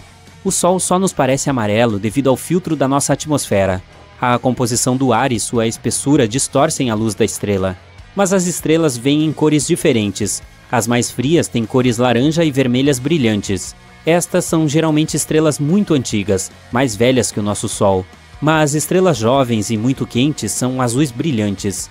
O Sol está no meio desse espectro. Mais um mito sobre asteroides. Precisamos voar um pouco além da órbita de Marte. Uau, estamos em um cinturão de asteroides e constantemente temos que desviar de rochas gigantes e blocos de gelo. Entramos em algumas nuvens densas de asteroides. Hum, não, não é verdade. O fato é que o espaço é enorme e as distâncias são incríveis. Todas as rochas e detritos no cinturão de asteroides são apenas 4% do peso da Lua, então realmente não há muito disso por lá. Para entender a dimensão do vazio no espaço, observe a colisão de duas galáxias. Existem bilhões de estrelas em cada uma delas. Se as unirmos, é improvável que haja colisões mesmo aqui. Muitas pessoas gostariam de voar para o espaço. Gravidade zero, uma vista deslumbrante da Terra de um lado e a escuridão assustadoramente ilimitada do outro. Sim, tudo muito legal, mas não esqueça que essa jornada pode se transformar em um pesadelo. Falta de oxigênio, flutuar no espaço sideral e ficar muito tempo em uma nave espacial sem entender quando pode voltar para casa. Esta última coisa aconteceu com um astronauta russo, ou cosmonauta. Sua permanência no espaço foi uma das mais longas do mundo. O engenheiro de voo Sergei Krikalev, de 33 anos, passou 311 dias em gravidade zero na estação espacial Mir. Mas essa não é a parte mais interessante do episódio. A longa jornada de Sergei começou em 18 de maio de 1991 Naquele dia, ele embarcou em uma nave de transporte e foi ao espaço para a Estação Espacial Mir. No dia 20, o acoplamento com a estação foi concluído. Lá, junto com outro engenheiro, desempenhou suas funções espaciais. Os dois fizeram várias caminhadas espaciais e reparos, cuidaram da estação e realizaram experimentos científicos. Quando se tem companhia e muito trabalho, viver no espaço não é tão difícil. Mas as coisas pioraram no dia em que Sergei deveria voltar para casa. De acordo com o plano, a missão deveria ter durado cinco meses. Um novo cosmonauta deveria substituir os antigos. A nave de transporte finalmente atracou na estação, mas no dia 10 de outubro, apenas um deles retornou à Terra. Sergei foi deixado sozinho na estação Mir. Ele continuou a trabalhar como o único engenheiro de voo da tripulação. A estação não podia ficar vazia, era necessário enviar alguém para substituir o rapaz, que não estava pronto para uma estadia tão longa no espaço, já que não tinha treinado para isso mas não havia escolha. Ele não podia simplesmente sair da estação. Um mês se passou. Sergei foi informado que voltaria para casa em breve, mas algo inesperado aconteceu. O dia 25 de dezembro de 1991 foi o último dia da União Soviética. O cosmonauta foi contatado e informado de que não poderia voltar, já que o país que prometia levá-lo para casa não existia mais. Durante esse tempo, uma grande crise começou na Rússia. O retorno dele era impossível pois não havia dinheiro para isso. Imagine a condição do cara. Você está a centenas de quilômetros de casa, na escuridão do espaço sideral, completamente sozinho e não tem ideia de quanto tempo vai ficar ali. Os dias passavam lentamente. Semanas, depois um mês. Seria muito fácil permanecer no espaço se isso não fosse prejudicial à saúde. Mas em condições de gravidade zero, o corpo humano sofre sérios danos. Primeiro, um enfraquecimento dos músculos, que não recebem a carga necessária e estão constantemente em estado de relaxamento, levando à distrofia. Sim, os astronautas fazem uma série de exercícios todos os dias, mas isso não é suficiente para manter a forma. Além dos músculos, os ossos começam a enfraquecer. A pessoa fica fraca. Depois de seis meses levando essa vida, qualquer astronauta precisa de muito tempo para voltar à forma anterior no retorno para casa. Além disso, há muita radiação no espaço que é perigosa para as pessoas. Ela é proveniente de várias fontes ao mesmo tempo. A principal vem do Sol. Na Terra, estamos protegidos disso graças ao campo magnético do planeta. Quase toda a radiação se acumula na atmosfera superior e não chega até nós. Esse acúmulo ali também é ruim para os astronautas, mas a pior é a galáctica.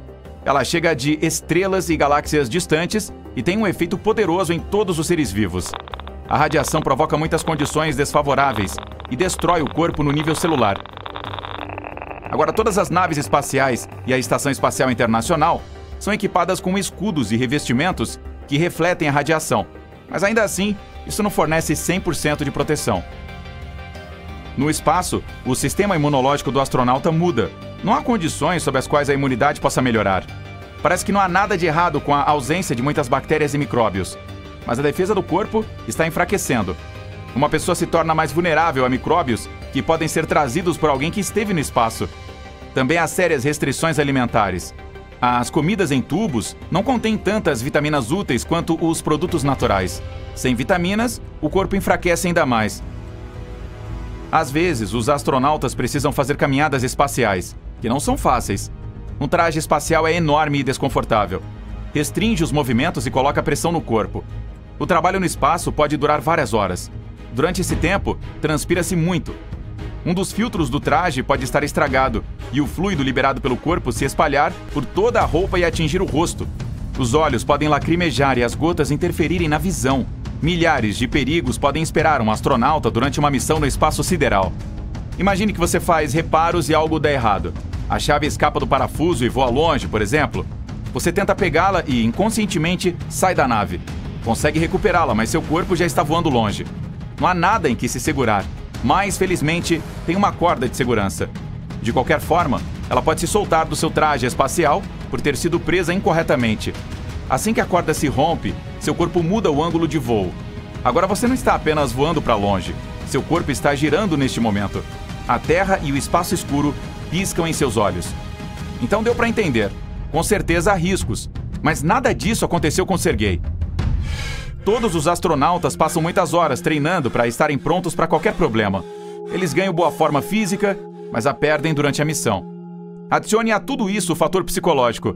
Seu corpo enfraquece, você não respira ar puro, não pode ver seus amigos e não tem a oportunidade de voltar para casa. Uma pequena camada de parede o separa do vácuo frio do espaço. Tudo isso causa estresse, que também enfraquece a imunidade e prejudica o sistema nervoso. Felizmente, os astronautas também passam por um treinamento psicológico sério. Eles podem manter o autocontrole nas situações mais estressantes. Mas quando se está sozinho no espaço por mais de seis meses e sem saber quando voltará, é razoável ficar seriamente nervoso. Felizmente, Sergei não entrou em pânico. Ele cumpriu os deveres diários, treinou e, claro, sentiu saudades de casa. Um mês depois, recebeu a mesma resposta. Ainda não podemos trazê-lo de volta. O país está em uma situação difícil. Ele se sentia pior a cada dia. A força dele estava acabando.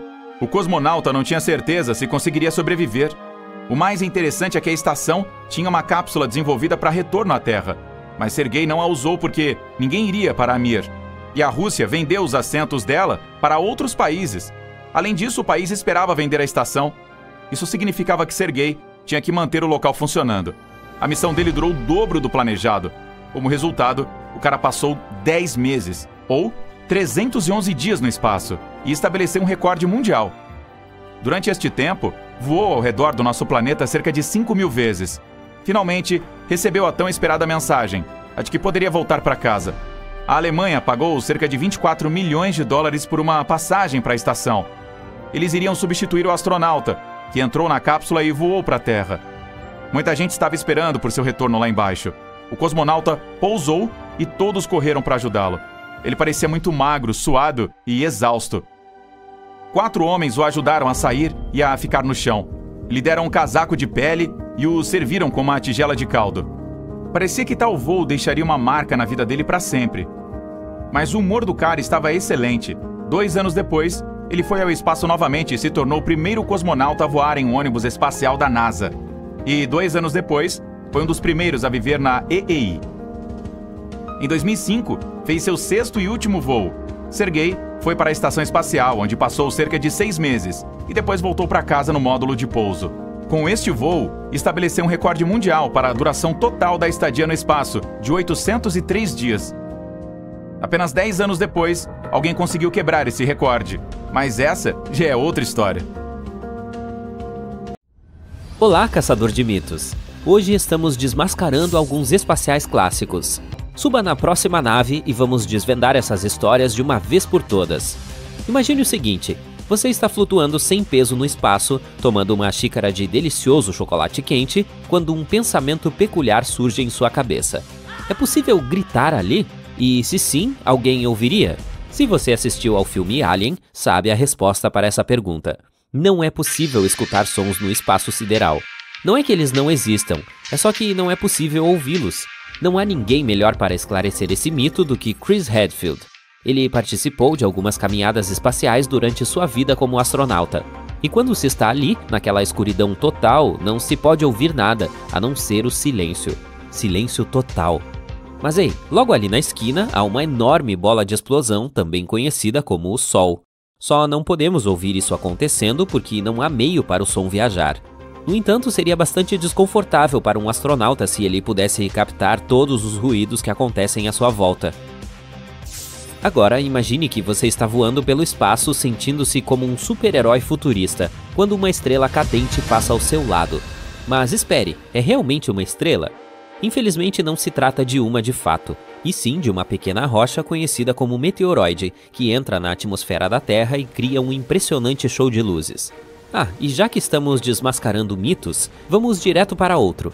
Você provavelmente já ouviu falar que os meteoros só se chocam com a Terra em ocasiões extremamente raras, como uma vez a cada apocalipse de extinção de dinossauros. Isso não é verdade. Os cientistas estimam que cerca de 48 toneladas de material meteorítico caem por aqui todos os dias, mas quase tudo é vaporizado em nossa atmosfera. O rastro brilhante que vemos no céu noturno é o que chamamos popularmente de estrela cadente, na próxima vez que fizer um pedido a uma, lembre-se de que, na verdade, está pedindo a um pequeno pedaço de detrito espacial. Bem, não é tão romântico assim. Podemos ou não podemos voar para a estratosfera em balões de ar? Aparentemente sim. Essa região começa relativamente perto do solo, cerca de 11 ou 12 quilômetros acima da superfície, mas continua subindo por um longo caminho. Se você quiser voar até a estratosfera com algum tipo de balão de ar, certifique-se de ter um equipamento muito bom à mão. Para isso, precisará de um traje especial e de alguns dispositivos de respiração, pois o ar começa a ficar muito rarefeito à medida que se vai mais alto. É claro que, se for até lá em cima, precisará tirar uma foto da curvatura da Terra. Portanto, leve alguns suportes de peitoral onde possa colocar uma câmera especial ou algo parecido. E que tal fazer uma transmissão ao vivo de tudo, seria algo inédito. Imagine que já se passaram 102 dias desde que você deixou a Terra e se adaptou bem à vida lá em cima, mas algo estranho está acontecendo com seu corpo. Ele está crescendo. Como isso é possível? Não se estresse, trata-se de algo completamente normal.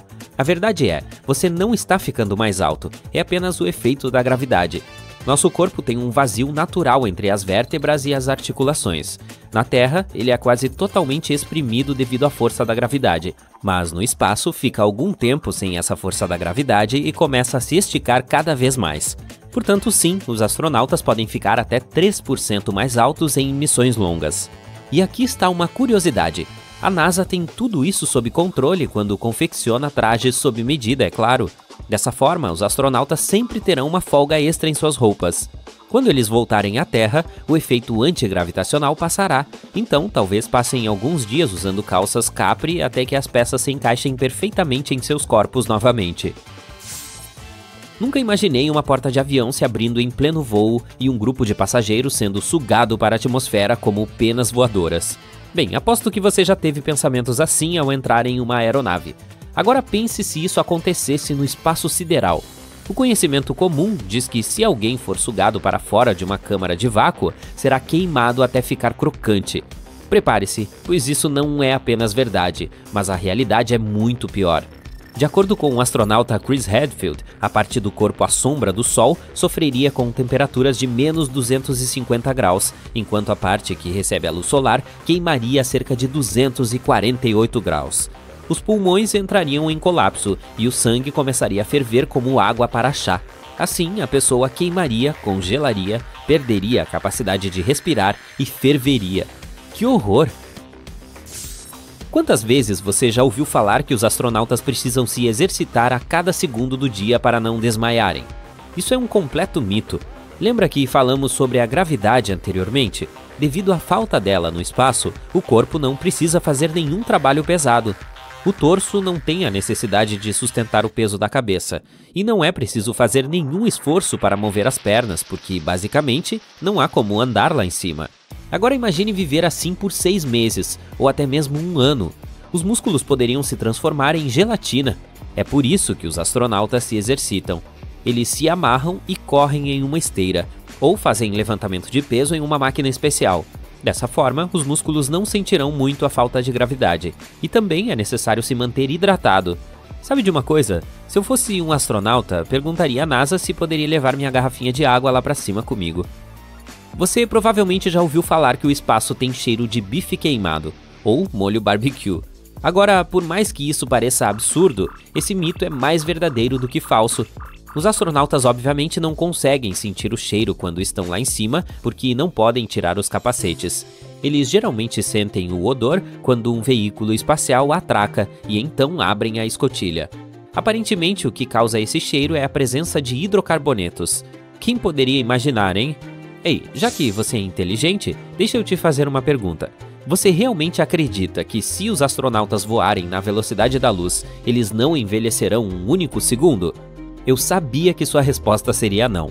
Vamos esclarecer algumas coisas. Em primeiro lugar, ainda não descobrimos como operar veículos na velocidade da luz. Isso exigiria uma quantidade imensa de energia, e não temos a tecnologia para fazer isso. Em segundo lugar, mesmo que conseguíssemos enviar um ser humano em uma espaçonave que viajasse na velocidade da luz, essa pessoa ainda envelheceria, e de forma diferente das que permaneceram na Terra. Isso é um fato mas ainda assim envelheceria. Você realmente acha que existe algo como a imortalidade? Não. Se viu Avatar 1, certamente se lembra que os humanos só conseguiram chegar a Pandora porque viajaram em criogenia. Em outras palavras, tiveram os corpos congelados, foram colocados em uma cama criogênica e viajaram por anos sem envelhecer. Sim, parece incrível, mas ainda assim não temos a tecnologia para tanto. Nossos corpos são feitos principalmente de água, certo? E quando ela é congelada, se expande. É por isso que você nunca deve deixar latas de refrigerante esquecidas no freezer. Atualmente, se congelássemos o corpo de alguém, a água dentro se expandiria, danificando tecidos e órgãos. Portanto, não, não podemos entrar em sono criogênico para fazer viagens interestelares, pelo menos por enquanto. Aqui está uma ideia maluca. O que aconteceria se um astronauta levasse um drone em uma de suas caminhadas espaciais? A menos que seja um projeto pela NASA, talvez ele congele e queime, como ocorreria se os humanos fossem para o espaço sem um traje. Mas não custa sonhar, certo? Houston, temos boas notícias. Um grupo de humanos selecionados está sendo entrevistado para embarcar nas primeiras férias comerciais ao espaço sideral. A agência espacial mandou uma pesquisa para ser respondida. Eles querem saber o que você levaria na mala nessa aventura espacial. Dependendo das suas respostas, você pode ser um dos escolhidos. Agora, que tal darmos uma olhada nessa lista juntos? Lápis. Acho que eu nunca teria pensado nisso, mas faz sentido. Diz a lenda que os Estados Unidos gastaram milhões de dólares tentando criar uma caneta que funcionasse no espaço. Como a falta de gravidade é um fator enorme, quero dizer, inevitável, da vida no espaço sideral, as canetas não funcionam. A tinta não fluirá para baixo como acontece aqui na Terra. Acontece que os lápis são suficientes. Dessa forma, você pode jogar quebra-cabeças de palavras com os outros turistas espaciais, ou até mesmo fazer alguns desenhos de sua aventura. Você nunca se esqueceria de levar uma escova de dentes, é claro. De acordo com astronautas veteranos, as escovas de dentes são muito simples, mas sua tecnologia é suficiente para o espaço. Se você apertar uma garrafa de água dentro de uma nave espacial, as moléculas de água flutuam em pequenas bolhas mas se molhar a escova de dente, ela naturalmente retém a água mantendo-a úmida para receber o creme dental. Ah, e o que dizer sobre as meias? Que bom que você perguntou. Aqui vão dois fatos. Primeiro, não há muita caminhada no espaço. As pessoas não tendem a tocar muito o chão lá em cima. E segundo, o espaço não é o melhor lugar para mostrar seu estilo de moda. Os astronautas tendem a usar roupas especiais enquanto estão lá fora, e isso não será diferente para você, que está de férias no espaço. Portanto, as meias manterão seus pés aquecidos e confortáveis, mas também mostrarão seu interesse em moda. Talvez um dia você use uma meia com uma cara sorridente, enquanto no outro dia você escolherá uma com o tema do Grinch. É claro que as meias são muito úteis a bordo de uma aeronave, pois permitem que você deslize pelas coisas com mais facilidade. Na próxima vez que eu for à loja de conveniência, lembrarei de comprar alguns lenços umedecidos para sua viagem espacial. Os viajantes espaciais experientes os adoram, e nem foi a NASA que os inventou, não é mesmo? Como a água é proibida dentro da nave espacial, a melhor opção são os lenços umedecidos. Melhor ainda se forem perfumados. Os astronautas usam até mesmo diferentes tipos de lenços umedecidos. Eles compram os que desinfetam e os que usam em seus corpos. Apenas certifique-se de saber como diferenciá-los quando estiver lá em cima. Há um mito popular que diz que a NASA inventou o velcro. A verdade é que tendemos a pensar que tudo que é usado no espaço foi inventado pela NASA para um propósito muito inteligente e específico. Mas não foi assim. O velcro foi inventado por motivos terrenos na década de 1950 por uma empresa suíça e adotado pelos viajantes espaciais porque funciona como adereço antigravitacional. Ele não elimina a gravidade, é claro, mas você pode colar velcros nas coisas do dia a dia e depois pendurá-los no velcro preso às paredes da nave espacial. É um sistema muito inteligente, mas é melhor levar seu próprio par, certo? Se você estiver passando muito tempo no espaço sideral, fotografias de sua terra natal podem ser úteis, mas escolha bem as fotos. Como a espaçonave não é tão grande, o restante das pessoas a bordo saberá quais fotos você decidiu levar é melhor manter aquele pôster do Harry Styles em seu quarto na Terra, ok? Leve apenas fotos reais de pessoas que você conhece e ama. Será que eu ouvi pizza? Uma grande parte das viagens e da exploração de novos lugares é poder provar diferentes sabores de comida. No espaço sideral, isso é um pouco mais complicado, mas pelo menos você pode levar uma pizza. Bem, na verdade, você teria que mandar entregá-la em uma nave cargueiro.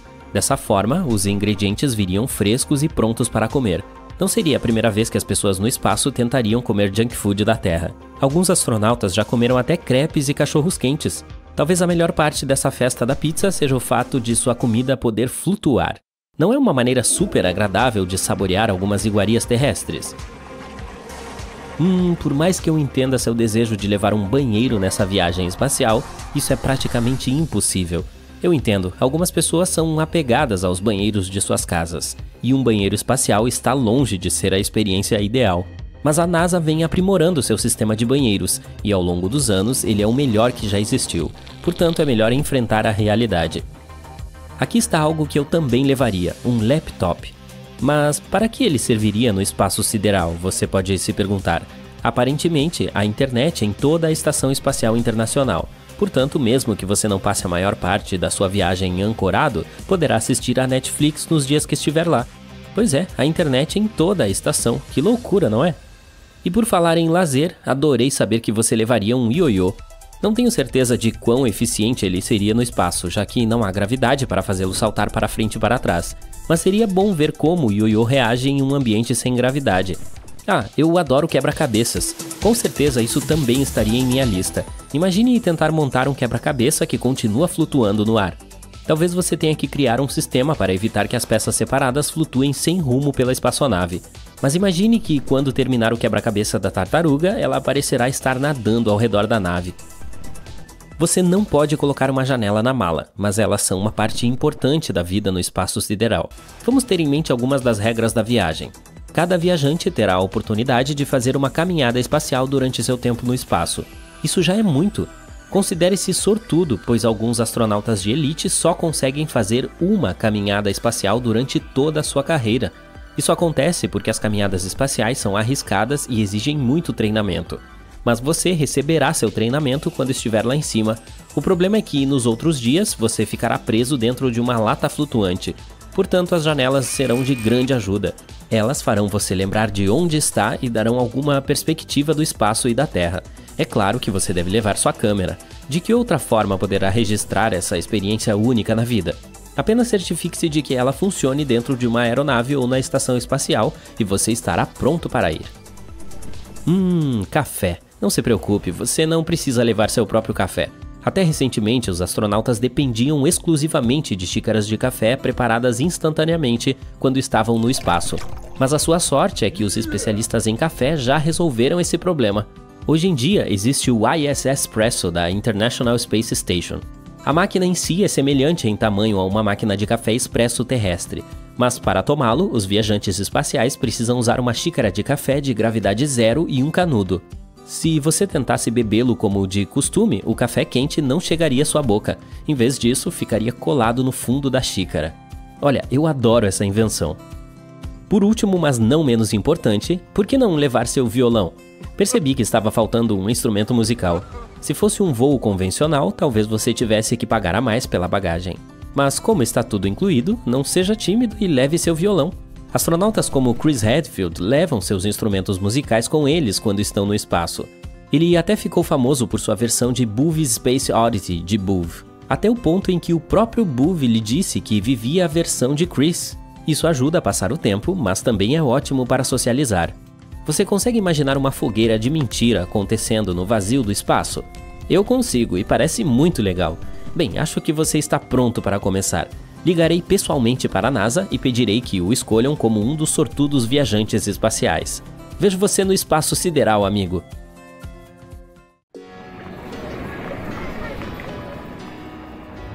A uma distância de 640 anos-luz do Sol, os cientistas descobriram o planeta WASP-76b, onde chove ferro. Ele fica muito próximo ao seu Sol e sempre voltado com o mesmo lado para este astro. O termo para isso é a rotação sincronizada. A temperatura no lado ensolarado é tão alta que os metais derretem e evaporam ali. A outra metade do planeta é frio o suficiente para que os metais se condensem de novo e caiam como chuva. Falando em rotação sincronizada, nossa Lua funciona da mesma maneira. Não há lado escuro no nosso satélite, ela fica sempre voltada para nós com o mesmo lado. Quando a Lua está entre a Terra e o Sol, o que chamamos de lado escuro fica bem iluminado. Simplesmente não podemos vê-la do nosso planeta. Um estudo recente afirma que a Lua tem uma cauda. Todos os meses ela envolve o nosso planeta como um lenço. É uma cauda delgada composta de milhões de átomos de sódio e ela segue o satélite natural da Terra. Nosso planeta viaja regularmente direto por ela. Os ataques de meteoros explodem esses átomos de sódio da superfície da Lua e avançam para o espaço. Você não vai acreditar, mas a Lua parece estar encolhendo. O satélite natural da Terra agora é 45 metros menor do que costumava ser centenas de milhões de anos atrás. A razão para esse fenômeno pode ser o resfriamento do interior da Lua. Isso também poderia explicar os terremotos que sacudiram a superfície do satélite natural do nosso planeta. Os astrônomos descobriram recentemente que Marte é sismicamente ativo, Martemotos ocorrem lá regularmente. Durante vários dias de cada mês, a Lua permanece entre o Sol e o nosso planeta. É quando a gravidade da Terra pega aquela cauda de sódio. O nosso planeta arrasta em uma longa faixa que envolve sua atmosfera. Essa cauda lunar é totalmente inofensiva.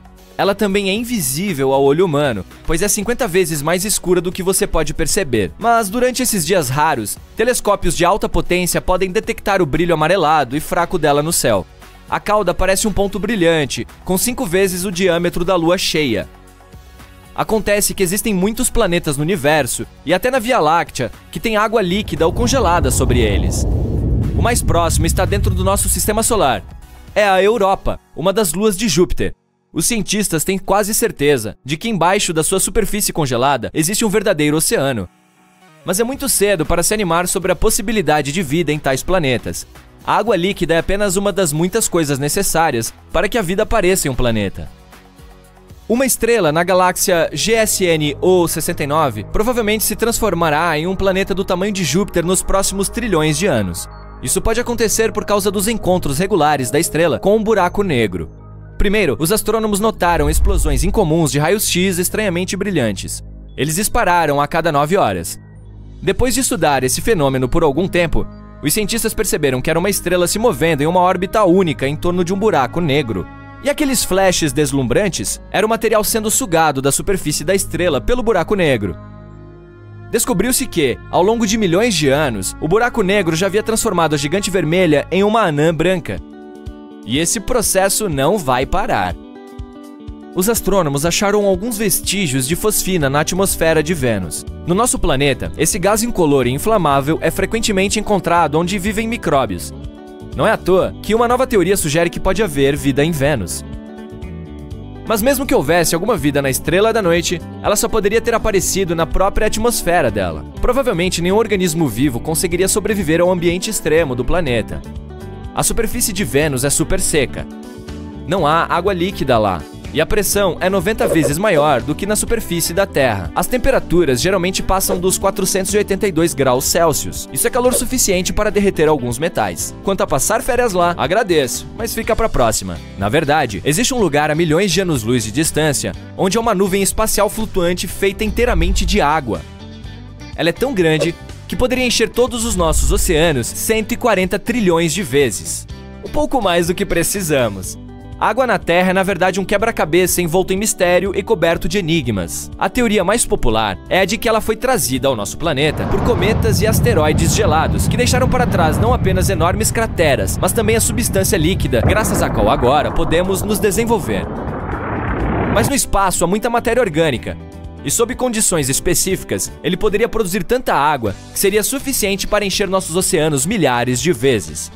Os pesquisadores realizaram um experimento no qual, aquecendo essa matéria orgânica, obtiveram água limpa e óleo. Se isso for confirmado em estudos futuros, pode significar que até o petróleo surgiu na Terra não apenas graças a restos fossilizados de vidas e seres vivos, mas também ao espaço sideral pode haver cerca de 6 bilhões de planetas semelhantes à Terra apenas na Via Láctea. Os dados mais recentes mostraram que uma a cada cinco estrelas parecidas com o Sol podem ter pelo menos um planeta em sua zona habitável. E não é qualquer planeta. Ele tem um núcleo e uma superfície rochosos e é de tamanho comparável ao da Terra. Estando dentro da zona habitável da sua estrela, tal planeta teria grandes chances de se tornar o lar de criaturas vivas. Micróbios, pelo menos. Se existem bilhões desses planetas na nossa galáxia, você pode dizer com segurança que pelo menos um deles não é apenas habitável, mas já habitado. Agora multiplique isso pelo número de galáxias no universo, considerando também que diversas delas são muito maiores que a Via Láctea. Isso nos dá bilhões e bilhões de estrelas semelhantes ao Sol e de planetas semelhantes à Terra, e alguns deles são certamente mais parecidos com o nosso do que outros. E veja só, podemos andar eretos por causa de explosões de supernovas. Cerca de 2,5 milhões de anos atrás, uma supernova enviou raios cósmicos ao nosso planeta. Eles desencadearam uma série de tempestades elétricas na atmosfera da Terra, que se transformaram em trovoadas. Essas, por sua vez, causaram incêndios florestais no nordeste da África, onde nossos ancestrais viviam. Os incêndios transformaram a área florestal em uma savana. A pressão atmosférica mudou e nossos ancestrais tiveram que se apoiar em duas pernas para sobreviver. A maior explosão desde o Big Bang foi registrada em 2019. Isso aconteceu no aglomerado Ofiuco, que une milhares de galáxias. Segundo os cientistas, a explosão foi igual a 20 bilhões de bilhões, são 18 zeros, tá? De explosões de megatons, acontecendo uma vez a cada milissegundo por 240 milhões de anos. Vou ter que confiar nisso, minha matemática não é tão boa. Em 2019, a InSight, sonda da NASA, cujo objetivo era estudar o interior de Marte, registrou o primeiro martemoto de todos os tempos. Esses terremotos eram rápidos e aconteciam cerca de duas vezes por dia. A maioria deles era minúscula, você nem sentiria se acontecessem no nosso planeta. Até agora, mais de 300 martemotos foram detectados. Esses são os primeiros terremotos que conhecemos em qualquer corpo espacial além da Terra e da Lua. Outro fenômeno misterioso descoberto pela missão foram os bizarros pulsos magnéticos. Eles ocorriam toda meia-noite ao redor do módulo de pouso. Ainda não está claro que pulsos eram esses, Talvez depois da meia-noite eles queriam sair e dar uma volta ou algo assim. A atmosfera de Plutão fica muito mais acima da superfície do planeta anão se comparada com a da Terra. Ela tem também mais de 20 camadas, todas geladas e extremamente condensadas. Lembra-se do asteroide que eliminou os dinossauros na Terra? Eu não estava por perto, mas quem poderia esquecer? Pode ter havido outro show espacial que terminou mal para pelo menos 75% de toda a vida do nosso planeta no passado. Há uns 360 milhões de anos, uma explosão de supernova ocorreu a cerca de 65 anos-luz de nós, e os raios cósmicos enviados por ela varreram a camada de ozônio da nossa linda bola azul. Uau, vizinhança difícil essa.